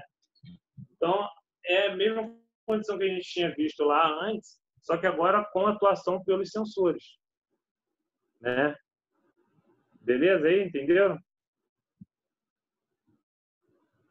E aqui o empacotador, mesma coisa, o I02, né? Esse sensor aqui, quando ele contabilizar 12, a gente vai ver daqui a pouco aí, ele vai, quando ele acionar, ele vai ligar o empacotamento, que é o Q04. Deu para entender isso daí? Sim, Rafael. Então, beleza. Esse aqui é a mesma coisa, só que depois eu botei os nomes aqui. Vou ver se eu faço isso no outro lá também. Essa é a etapa 3, então. Etapa 3 era a verificação da presença da, presença da tampa no reservatório. Né? Ou seja, se não tiver tampa, vai acionar essa saída R00 aqui, vai acontecer o quê? Vai desligar o motor e a luz verde né, e vai ligar a luz vermelha. É mais ou menos isso.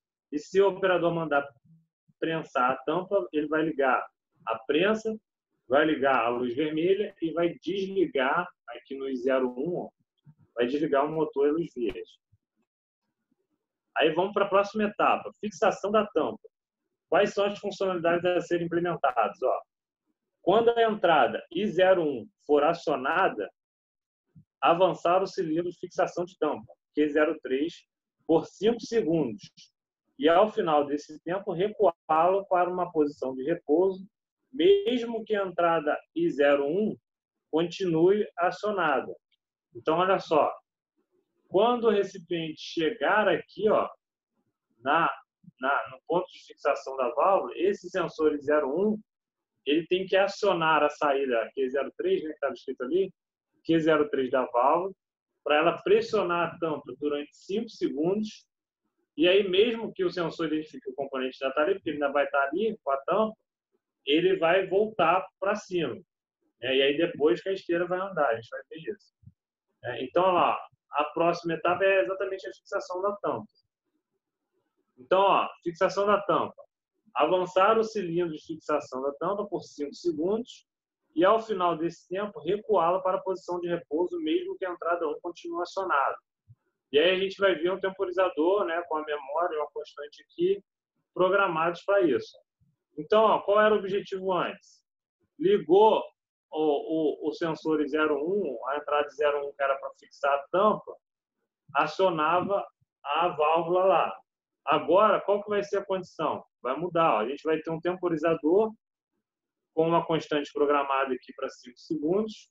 Quando o sensor I01 detectar que tem um recipiente lá, o que, que ele vai fazer?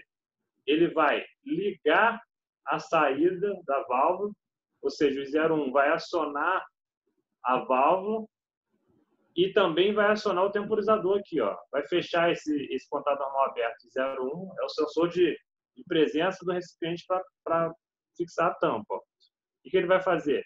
Quando fechar ele aqui, ó, ele vai acionar a válvula e aí a válvula vai ficar acionada. Só que ela vai ficar acionada por 5 segundos por desse temporizador aqui, ó. A gente vai programar aqui 5 segundos e aí, quando passar os 5 segundos, esse R001 aqui, né, esse reset aqui, ele vai, esse contato R001 que está normal fechado aqui, vai abrir e aí a válvula vai voltar para a posição anterior.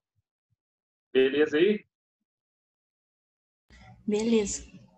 Ou seja, aqui na linha de baixo aciona a válvula e na linha de 5, quanto tempo depois que contar o tempo e acionar essa bobina aqui, vai desenergizar a válvula para ela voltar para a posição original. Né? Então, essa é a etapa 5, fixação da tampa. A etapa 4, aliás. Aí vamos para a etapa 5, sinalização de falha. Né? Quais são as funcionalidades a serem implementadas? Ó, na sinalização de falha, ou seja, se tiver uma falha, tem que sinalizar que está com falha vai, vai piscar, a luz vermelha vai piscar várias vezes, por causa de um em um segundo. Na sinalização de falha, a lâmpada vermelha deve ficar piscando de um em um segundo. A falha só é apagada depois que o botão de liga e desliga do processo for desligado e ligado novamente. Como é que a gente vai fazer isso?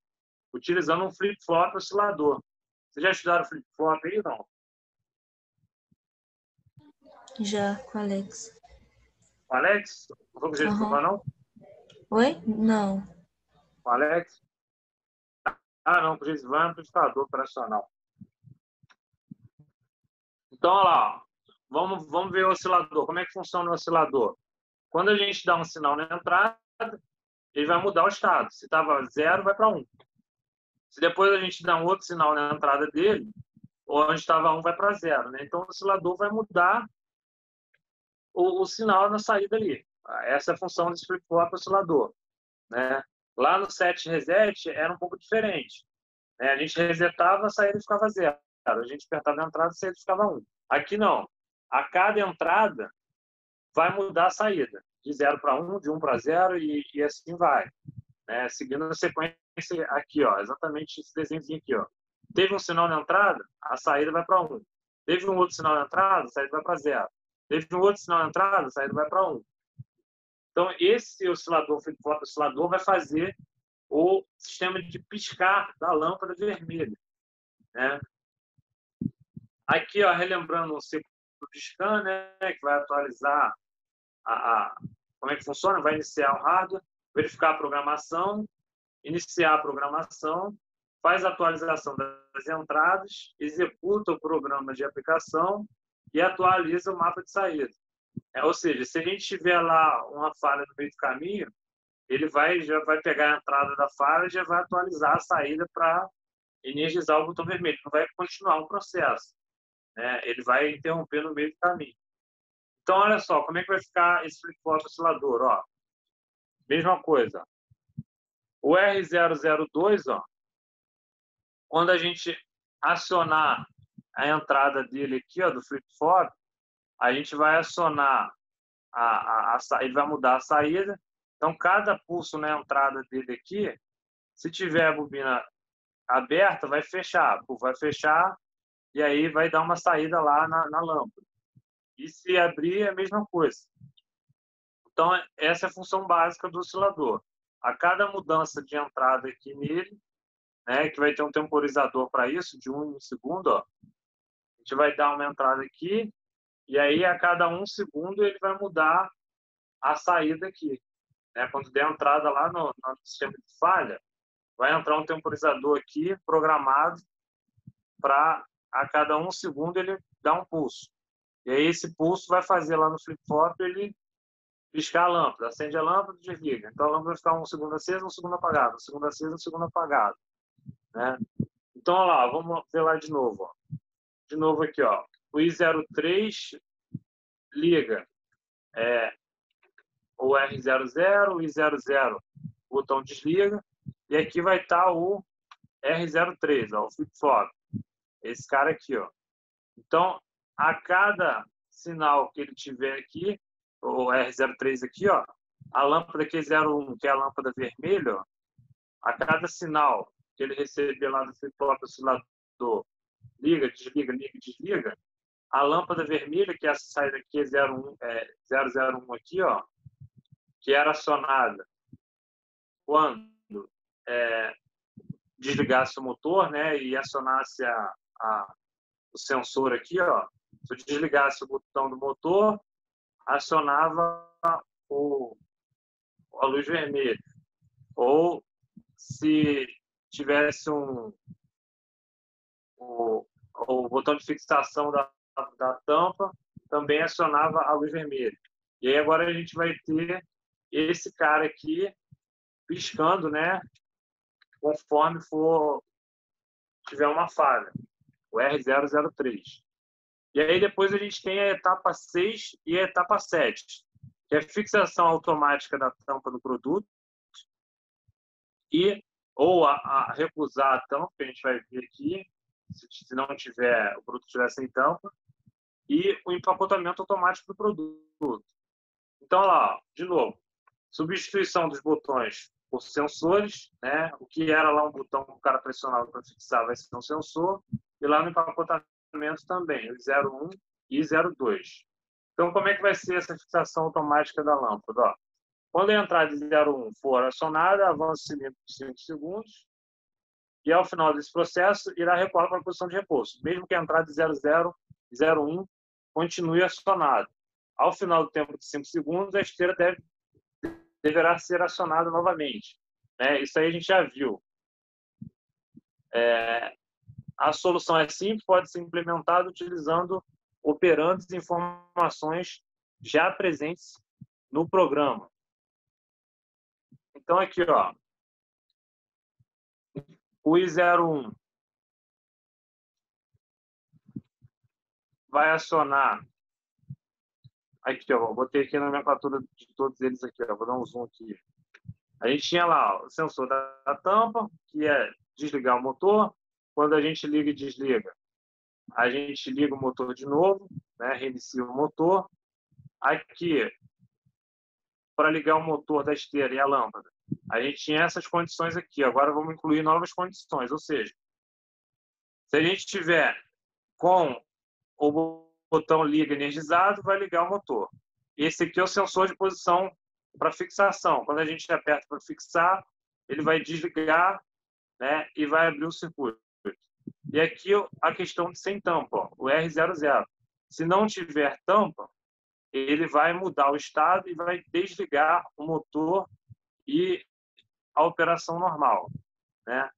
Esse R001 é os 5 segundos de prensa, ou seja, quando a gente apertar a prensa, ela vai acionar. Quando ele identificar que o, que o botão está no recipiente está na posição, vai fechar o 01 e vai acionar o, o R001, que é o, o botão lá da, da válvula. E aí, passando 5 segundos de prensa, o que, que vai acontecer? Vai, o botão normal fechado vai ficar aberto.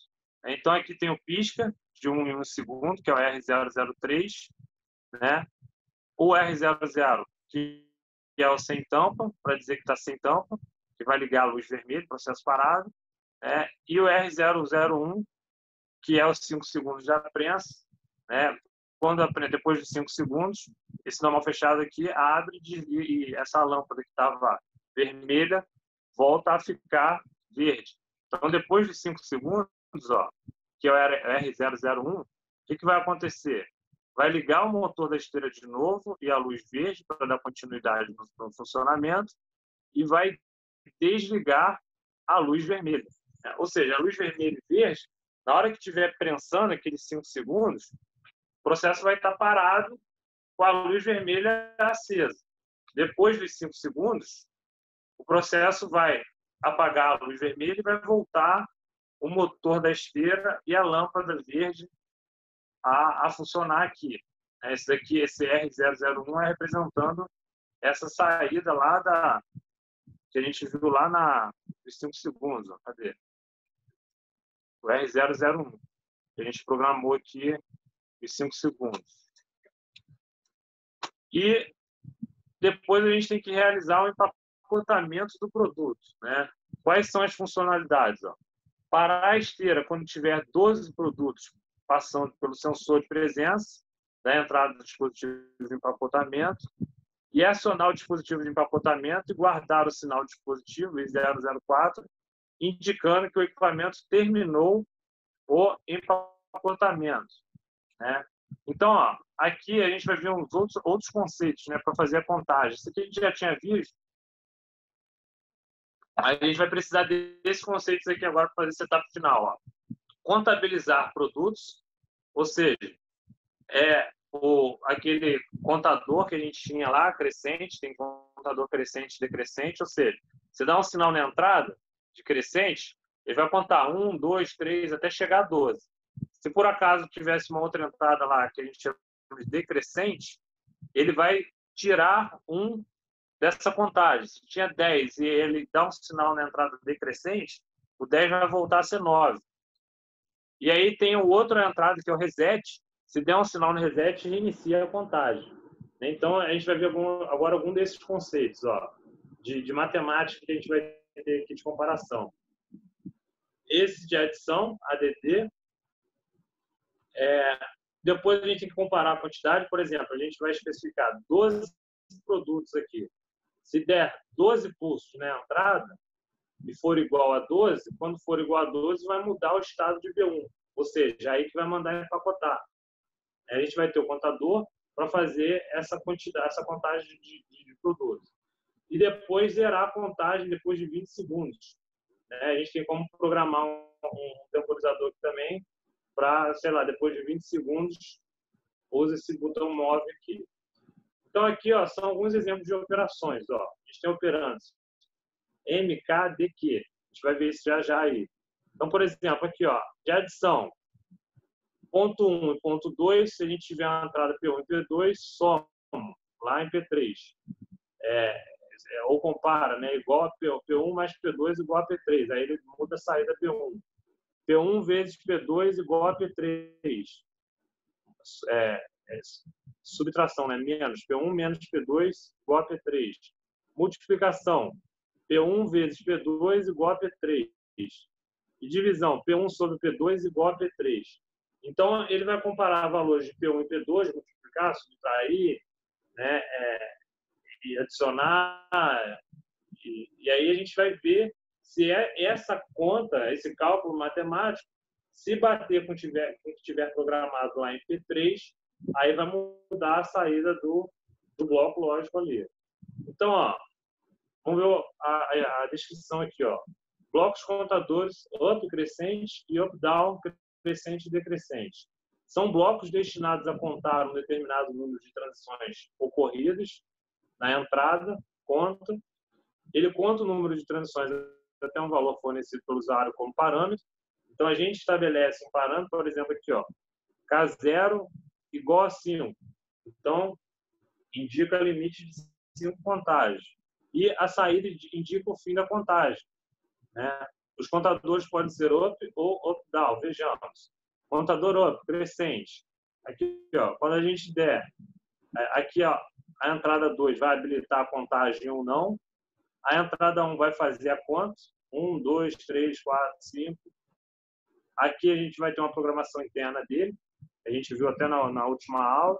E aí, quando ele atingir aquela, aquela contagem estabelecida, vai mudar a saída aqui, vai energizar a saída, vai energizar uma saída 0,1. Então, na, na quinta transição de 0, a saída Q0 será energizada. Q01, Q1, né? no caso aqui. Botou a 0, mas é a 1. Então, ó, depois que a gente tiver cinco entradas aqui na contagem, vai sair o sinal de saída aqui. O, esse outro contador, ó, up-down, né, ele tem mais uma entrada. Então, uma entrada conta como positivo e a outra entrada né, como decrescente. Aqui, ó. Essa entrada é um, vai ter um sensor lá, né, o sensor zero, por exemplo, vai contar positivo. Na outra entrada é 2, vai ter um outro sensor, e aí se tiver em um aqui é crescente, se tiver em zero é decrescente. Então ele consegue é, descontar um valor, né? Por isso que a gente viu lá P1, P2, ó, né? Um menos o outro, um mais o outro, são as contas para cada tipo de bloco, de adição, subtração, multiplicação divisão. Esse é um de subtração, né? É, os parâmetros P1 e P2 são iguais para ambos os contadores. P1 representa o valor corrente da contagem, deve ser obrigatório na memória interna M. E P2 representa o valor limite de contagem, pode ser memória interna M ou constante inteira K. Né? Então, aqui ele botou, por exemplo, K0 igual ao valor igual a 8. Será ativada 1 no final da contagem. Quando atingir o 8 programado aqui na contagem, a saída vai ser energizada. Né? É mais uma explicação que a gente já viu lá por alto na, na última aula. A gente fez um exemplo disso. É, uma outra programação aqui, ó. Os controladores lógicos programáveis são equipamentos digitais, ou seja, só entendem 0 e 1, um, porém, grande maioria deles possui internamente conversores AD, né, entrada de sinais, e DA, saída de sinais, né, analógico digital, digital analógico. Na maioria dos casos, esses conversores são de 10 bits.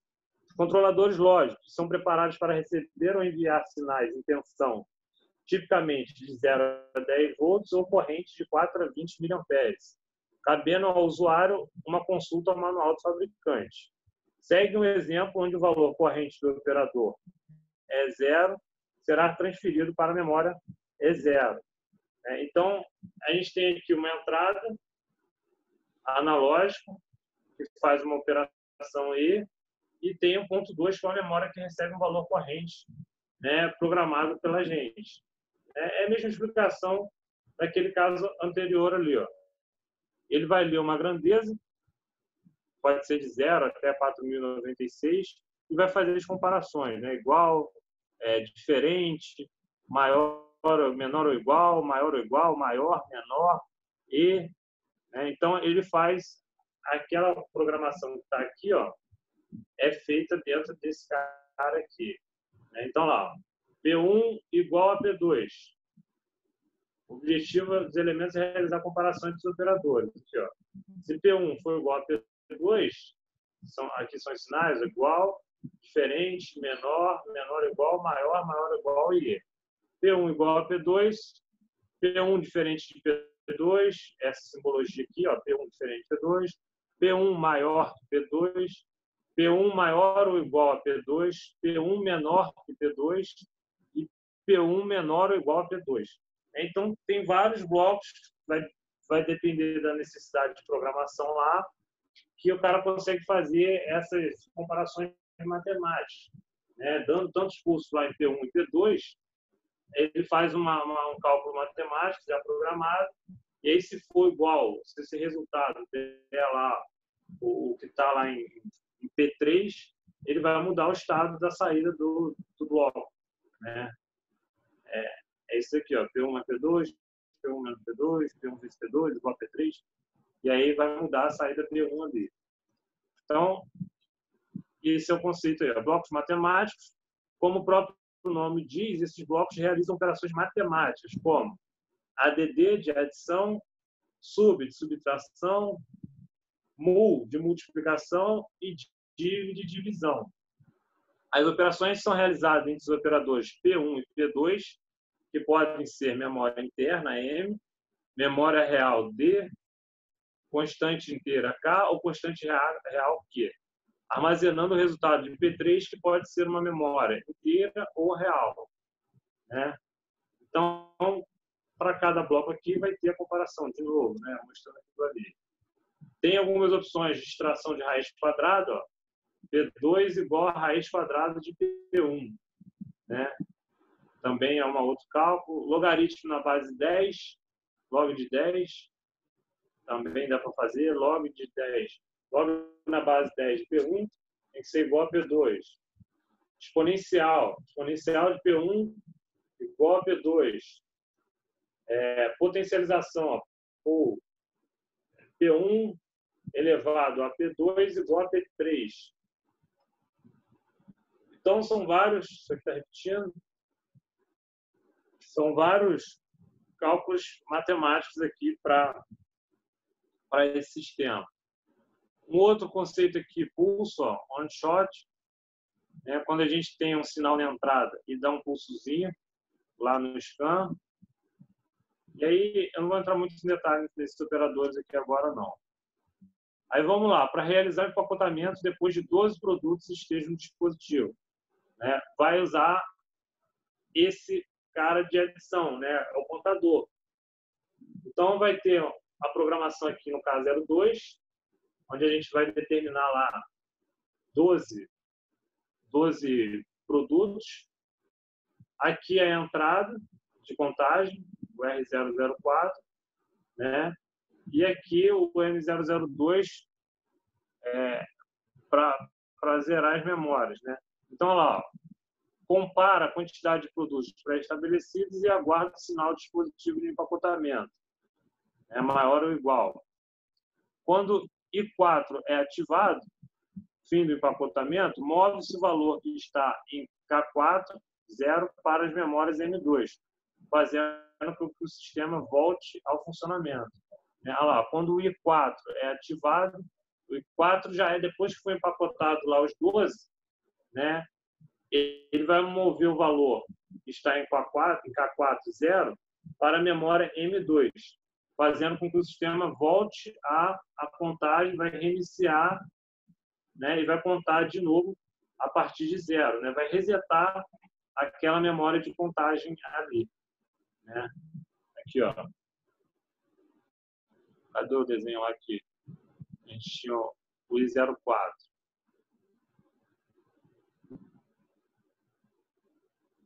Ó, o I04 é esse cara aqui, ó. Depois que o empacotamento é feito, as duas, ele fecha esse contato aqui e vai reiniciar aquela contagem lá de, a partir de zero, né, o contador. Aqui, ó. Beleza aí?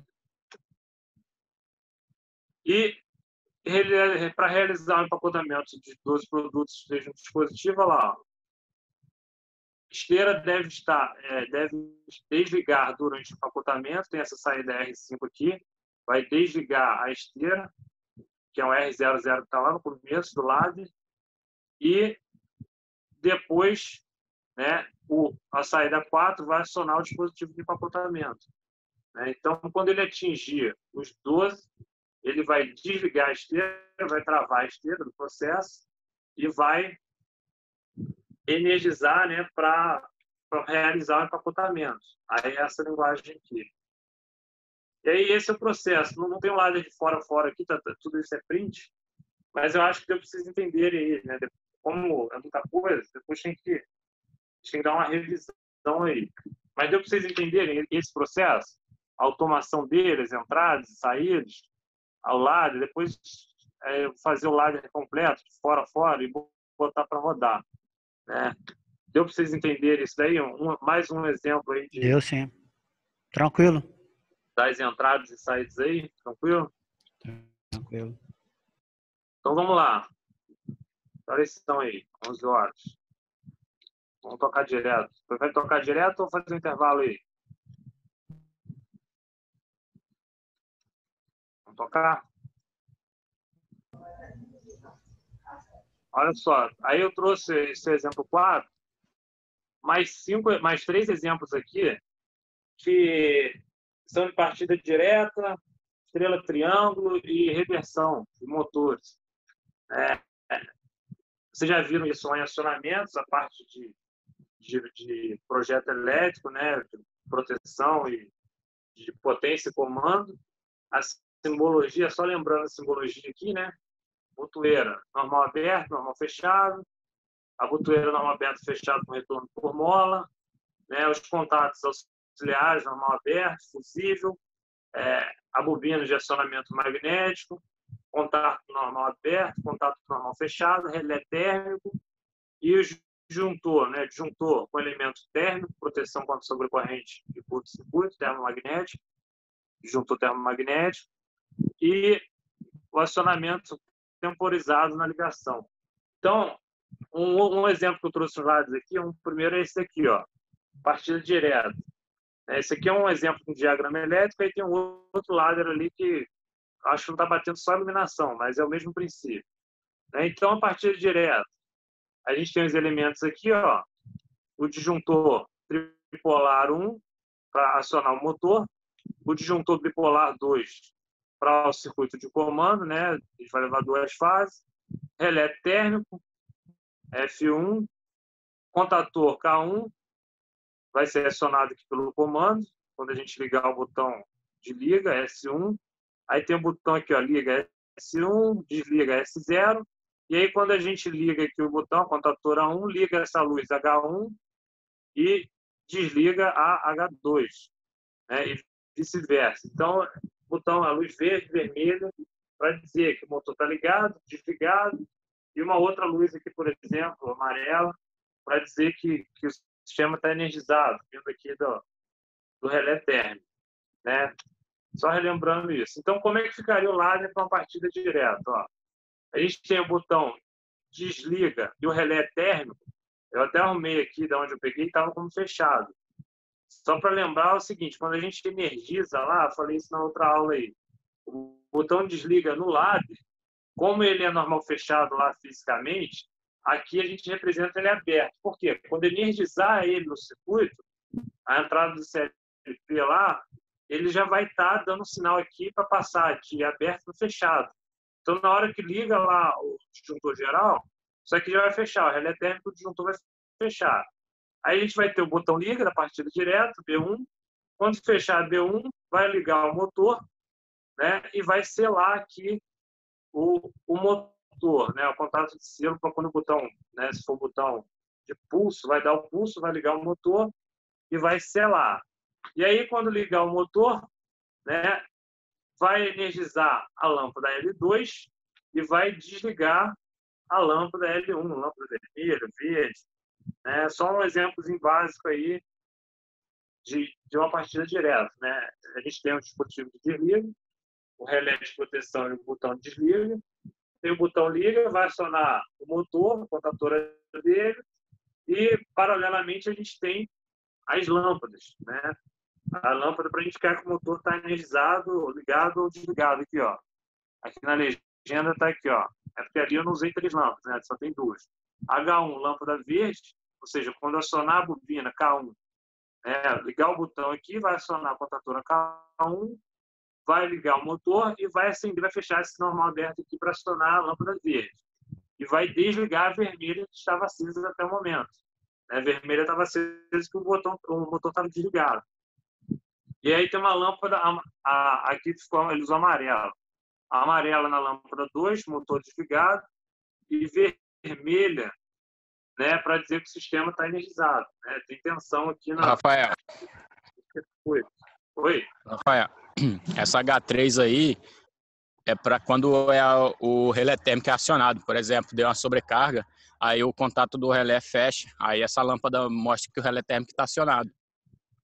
Ah, é verdade.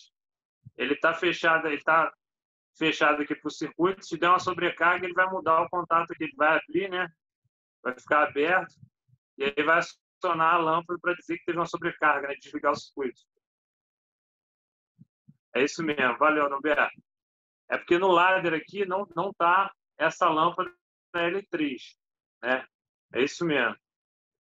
Não, não, não tá representação para esse diagrama específico aqui. A gente poderia botar aqui um outro uma outra linha com o contato do relé térmico né? E quando ele acionar, mudar o contato dele aqui, ó, 96 for para 98, ou seja, desligar por sobrecarga, vai, vai desligar o circuito todo e vai ligar a lâmpada vermelha. Isso mesmo, Roberto. Valeu aí pela indicação aí. Então, isso é um, exemplo do ladder aí para uma partida direta. Aqui é uma outra partida, um motor com reversão, né? mudando o sentido de giro. Aí a gente tem a mesma coisa aqui, ó. O circuito de potência, circuito de comando, né? circuito de potência, fusível, disjuntor, as contatoras K1 e K2 para fazer a troca das fases aqui, para mudar o, o, o, sentido do circuito. Né? E o circuito de comando aqui, mesma coisa, fusível, disjuntor. E aí tem aqui o, o, o relé de proteção, relé térmico, F2, o botão desliga S0, o botão liga S1, contato de selo da contatora aqui para ligar a contatora 1, e aqui o, o botão 2 para mudar o sentido do, do, do motor. Né? quando liga S2, tem intertravamento aqui. Quando liga S1, desliga a contadora 2. Quando liga S2, né, K2 desliga a contadora 1, para que não, não corra o risco de fechar um curto ali e ligar as duas ao mesmo tempo. E aí, de novo aqui, a programação ladder. Ó. A gente vai ter aqui, ó, relé térmico e botão desliga, que vão fechar o contato na hora que ligar o circuito. Né? O botão liga, na hora que ligar o botão vai energizar a contatora 1, vai fechar o selo dela. Esse K2 aqui normal fechado é para quando ligar o botão 2, desligar a contatora 1, a reversão, né? Então aqui, ó, quando a gente ligar o botão 2, vai energizar o K2, vai desligar, vai fazer intertravamento, vai desligar K1, vai abrir esse contato aqui, vai selar o K2. Né? E aqui as lâmpadas, ó. É, K1 e K2 desligado, K1 ou K2 ligado, vai acender a lâmpada 1. E aí, quando os dois estiverem desligados, né, vai mostrar que o circuito está desenergizado. Não tiver nenhum dos dois. Ih, rapaz, estou arrumando um carregador aqui que deu 10% de bateria aqui. Eu estou com mau contato aqui. Beleza aí?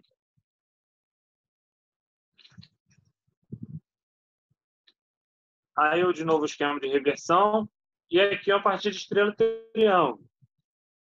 Né? Para a gente fazer a partida estrela triângulo do motor aí. Então, ó, a gente vai ter aqui o circuito de alimentação, contatora 1, e as contatoras K3 e K2 para partir em estrela triângulo. Né? Jogar lá a raiz de 3 da tensão na bobina e depois jogar a tensão de linha toda. Né? Então, a mesma coisa aqui. Ó. A gente vai ter na linha 1 uma entrada liga, botão liga. Quando a gente energizar aqui, o botão desliga. Na hora que energizar o circuito, né, ele vai, vai ficar fechado. Quando a gente ligar o botão para acionar o circuito de alimentação, vai ligar a contatura 1 da alimentação aqui e vai selar esse contato aqui da contatura 1, na linha 2. É, vai fazer o selo aqui no botão de pulso. Depois, quando acionar a contatora é, alimentação Q01, vai, ao mesmo tempo, ligar né, a, a contatora 2, aqui ó, Q02, ou seja, quando acionar a alimentação, Q01 vai fechar esse contato aqui da linha 4, Q01, e vai acionar aqui a ligação em estrela, Q02. Né? E ao mesmo tempo vai acionar também o temporizador.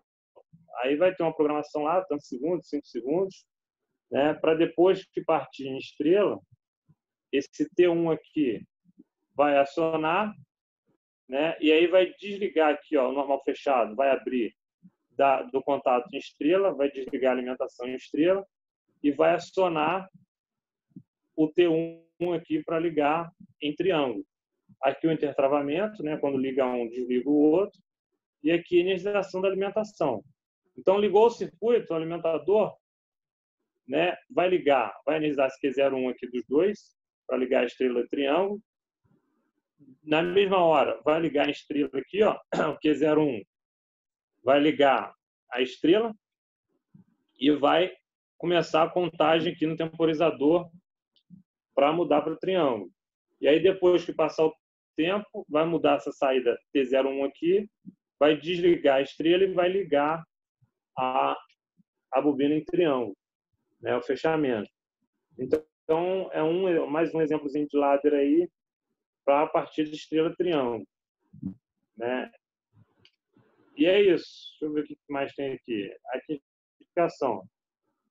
O sistema funciona da seguinte maneira: o botão desliga possui um contato físico normalmente fechado. Tem que lembrar isso aqui, galera. Que no lado ele tem que ficar aberto. Ó.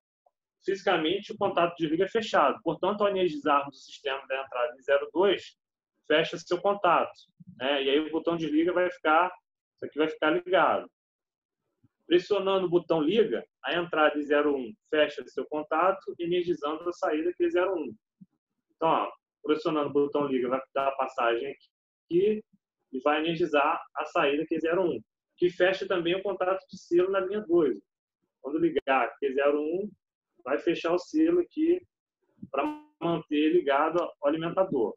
Na linha 3, o contato Q01 também se fecha, iniciando assim a contagem do temporizador T01. Então, aqui, ó, na linha 3, depois que acionar o alimentador, vai fechar esse contato e vai começar a contagem do temporizador. Esse temporizador está configurado para o modo de retardo na energização com duração de 5 segundos. Na linha 4, a saída Q02 é acionada, energizando assim a bobina do contador que fecha o motor em estrela, abrindo seu contato na linha 5 de maneira a impedir que Q03 esteja acionado. Então, ó, nesse momento, Q01 energiza para ligar o motor em estrela e também desliga, né? Aqui, o Q02 vai ligar a estrela e desliga para não energizar em triângulo. Né? É, aí, passando 5 segundos, T01 é energizado e os seus contatos comutam. T01 se abre na linha 4, energizando T02, e se fecha na linha 5, acionando a saída T3, energizando a bobina do contator que fecha o motor em triângulo. Então, passado o tempo aqui de 3 segundos, vai mudar os estados de T01. Onde está fechado, vai abrir, que era o estrela, e onde está aberto, vai fechar o triângulo, e aí vai abrir aqui para não acionar a estrela. Né?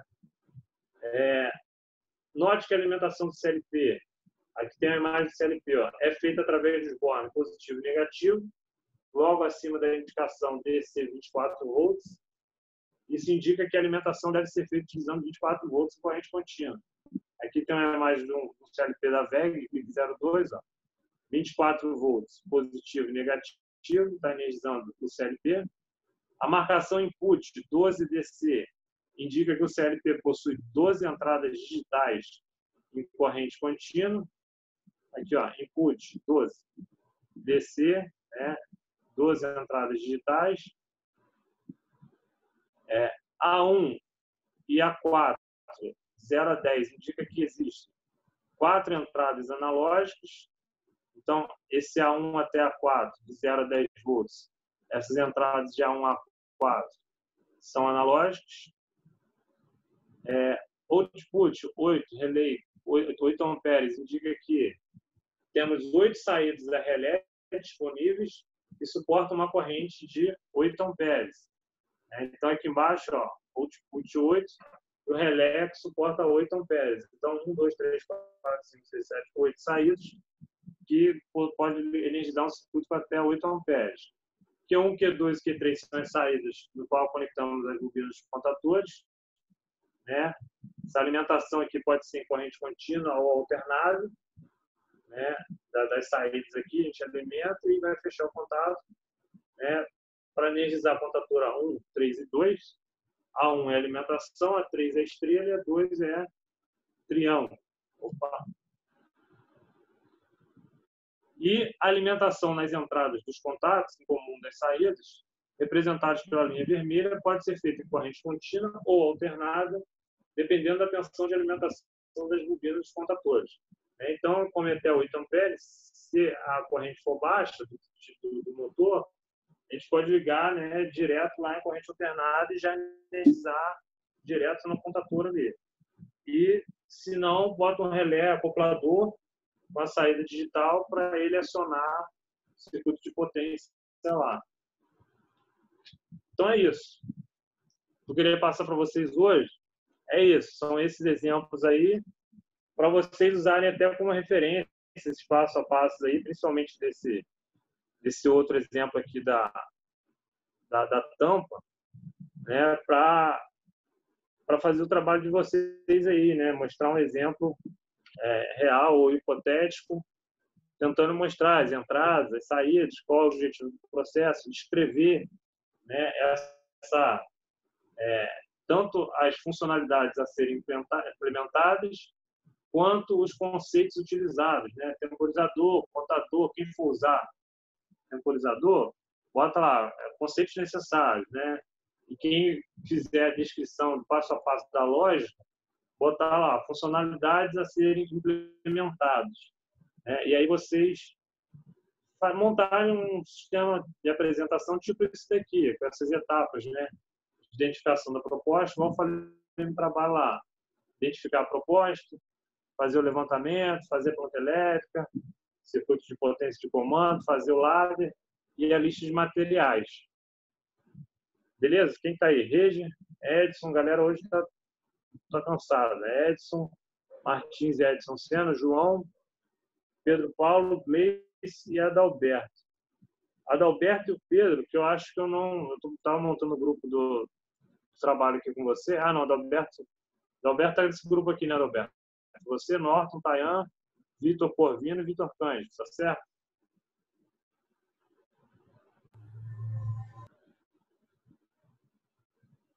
Tá aí, Roberto? Rafael, tô sim. Oh, então, mas tem mais dois, dois rapazes que me procurou essa semana que tava no grupo. Mas eu vou conversar aqui direito com essa rapaziada aí.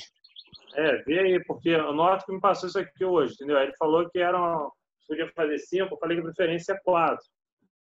Né? É, tenta fazer quatro aí. E o outro caiu o Pedro Paulo. Pedro, você está em qual grupo? Pedro não está ainda não aqui. Então, a ideia, galera, é começar a apresentação semana que vem. Vocês já começaram a fazer aí, o grupo de vocês? Como é que tá aí? Regi, João. Até comuniquei com a galera lá, até te mandei mensagem essa semana, foi um pouco tenso para mim, devido aos exames que eu tive que fazer, cara.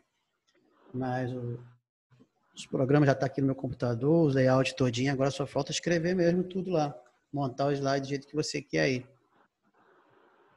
Entendi. Então, é, tenta, ah. vamos tentar montar o seu grupo, Regi, que a galera já está avançada, o seu, Adalberto, o seu será que você consegue? Gleice, Adalberto, João, tem quatro pessoas aí de grupos aí, ó.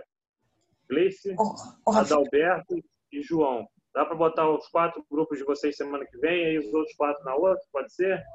Não, o Rafael, no meu grupo tá o Lucas Gomes e o Edson. Lucas Gomes? O Edson Senna. Edson Senna. Só vocês três? Por enquanto, é, a não ser que, que o Lucas Gomes tenha chamado alguém, eu não estou sabendo. Por enquanto, são só nós tá. três. Então, o Edson Martins está aí, o Edson? Eu tô assim, professor. O Edson, o Edson aqui, você pode ver, conversar com a Gleice depois aí, se for o caso, você entrar no grupo deles. Porque o Edson, acho que tem um tema lá do trabalho dele. Vocês já começaram a fazer, Gleice? Sim, a gente já começou. É, eu não sei porque o Edson queria fazer um outro tema lá, o Edson. Mas, por exemplo, o grupo da Gleice aí tem três pessoas. Qualquer coisa, se você quiser entrar nele, ou do Lucas Abi também, ali tem três. O Léo, João Guilherme e o Lucas Abi. Né? Olha só, vamos fazer o seguinte, então. Se, se vocês autorizarem aí, para a semana que vem, apresentar aí, ó, o grupo do Adalberto. Vou nem botar essa galera aqui, que é o Adalberto Tá todo mundo querendo fazer com o Adalberto. Adalberto, Gleice, esse grupo aqui, ó. Gleice. João, tá aí? João tá aí, né? Tô sim, João, tá Posso botar seu grupo para apresentar semana que vem? Pode sim, te dá um jeito aqui. Beleza. João, Gleice, Adalberto e o grupo do Regi. E aí, esse grupo que a galera já está Tem mais alguém do outro grupo aí? Matheus, Alessandro tá aí? Alessandro saiu já, né? Então, olha só.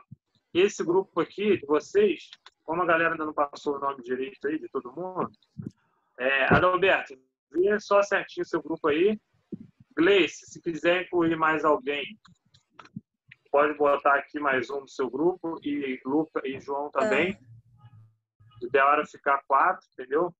E aí, para a semana que vem, dia 17, é, vou botar aqui, ó, apresentação. Dia 17, vocês e a apresentação dia 24. 2020, Rafael. Você voltou muito, Oi? hein? Ô, oh, caralho. 2020. queria, estar em 2010, né? 2020 está tenso. Tá bravo. Pô, cara, tá sendo, tá sendo muito difícil pra mim, cara. Ah, pra todo mundo, cara. Só problema, só tá puxado. Essa semana só de exame aqui, cara, me arrebentou minha vida, cara. Foda.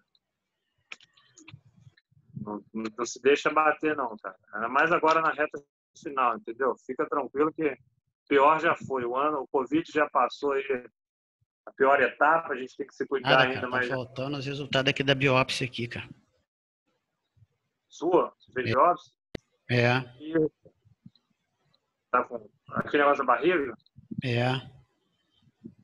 Não, se Deus quiser, não vai ser, não vai ser nada não, cara. Fica tranquilo. E se for, nós estamos aí para ajudar, precisar aí, pode contar com a gente. Valeu, obrigado. Fica tranquilo que vai dar tudo certo. Fica nervoso, fica preocupado. Lógico que fica preocupado, mas tenta, tenta distrair a cabeça. Rapaz, quarta-feira foi sinistro, maluco. Vou entrar no centro cirúrgico para fazer uma, uma de biópsia lá, porra. É. Tomou anestesia, não? Geral não? Tomei. Geral? É, apaguei durante uns bons 40 minutos, cara. É Só aquela foi... do gás? Encheram um gás? Oi? Não, na é veia mesmo, pô, na veia. Caraca. Vai, vai dar tudo certo.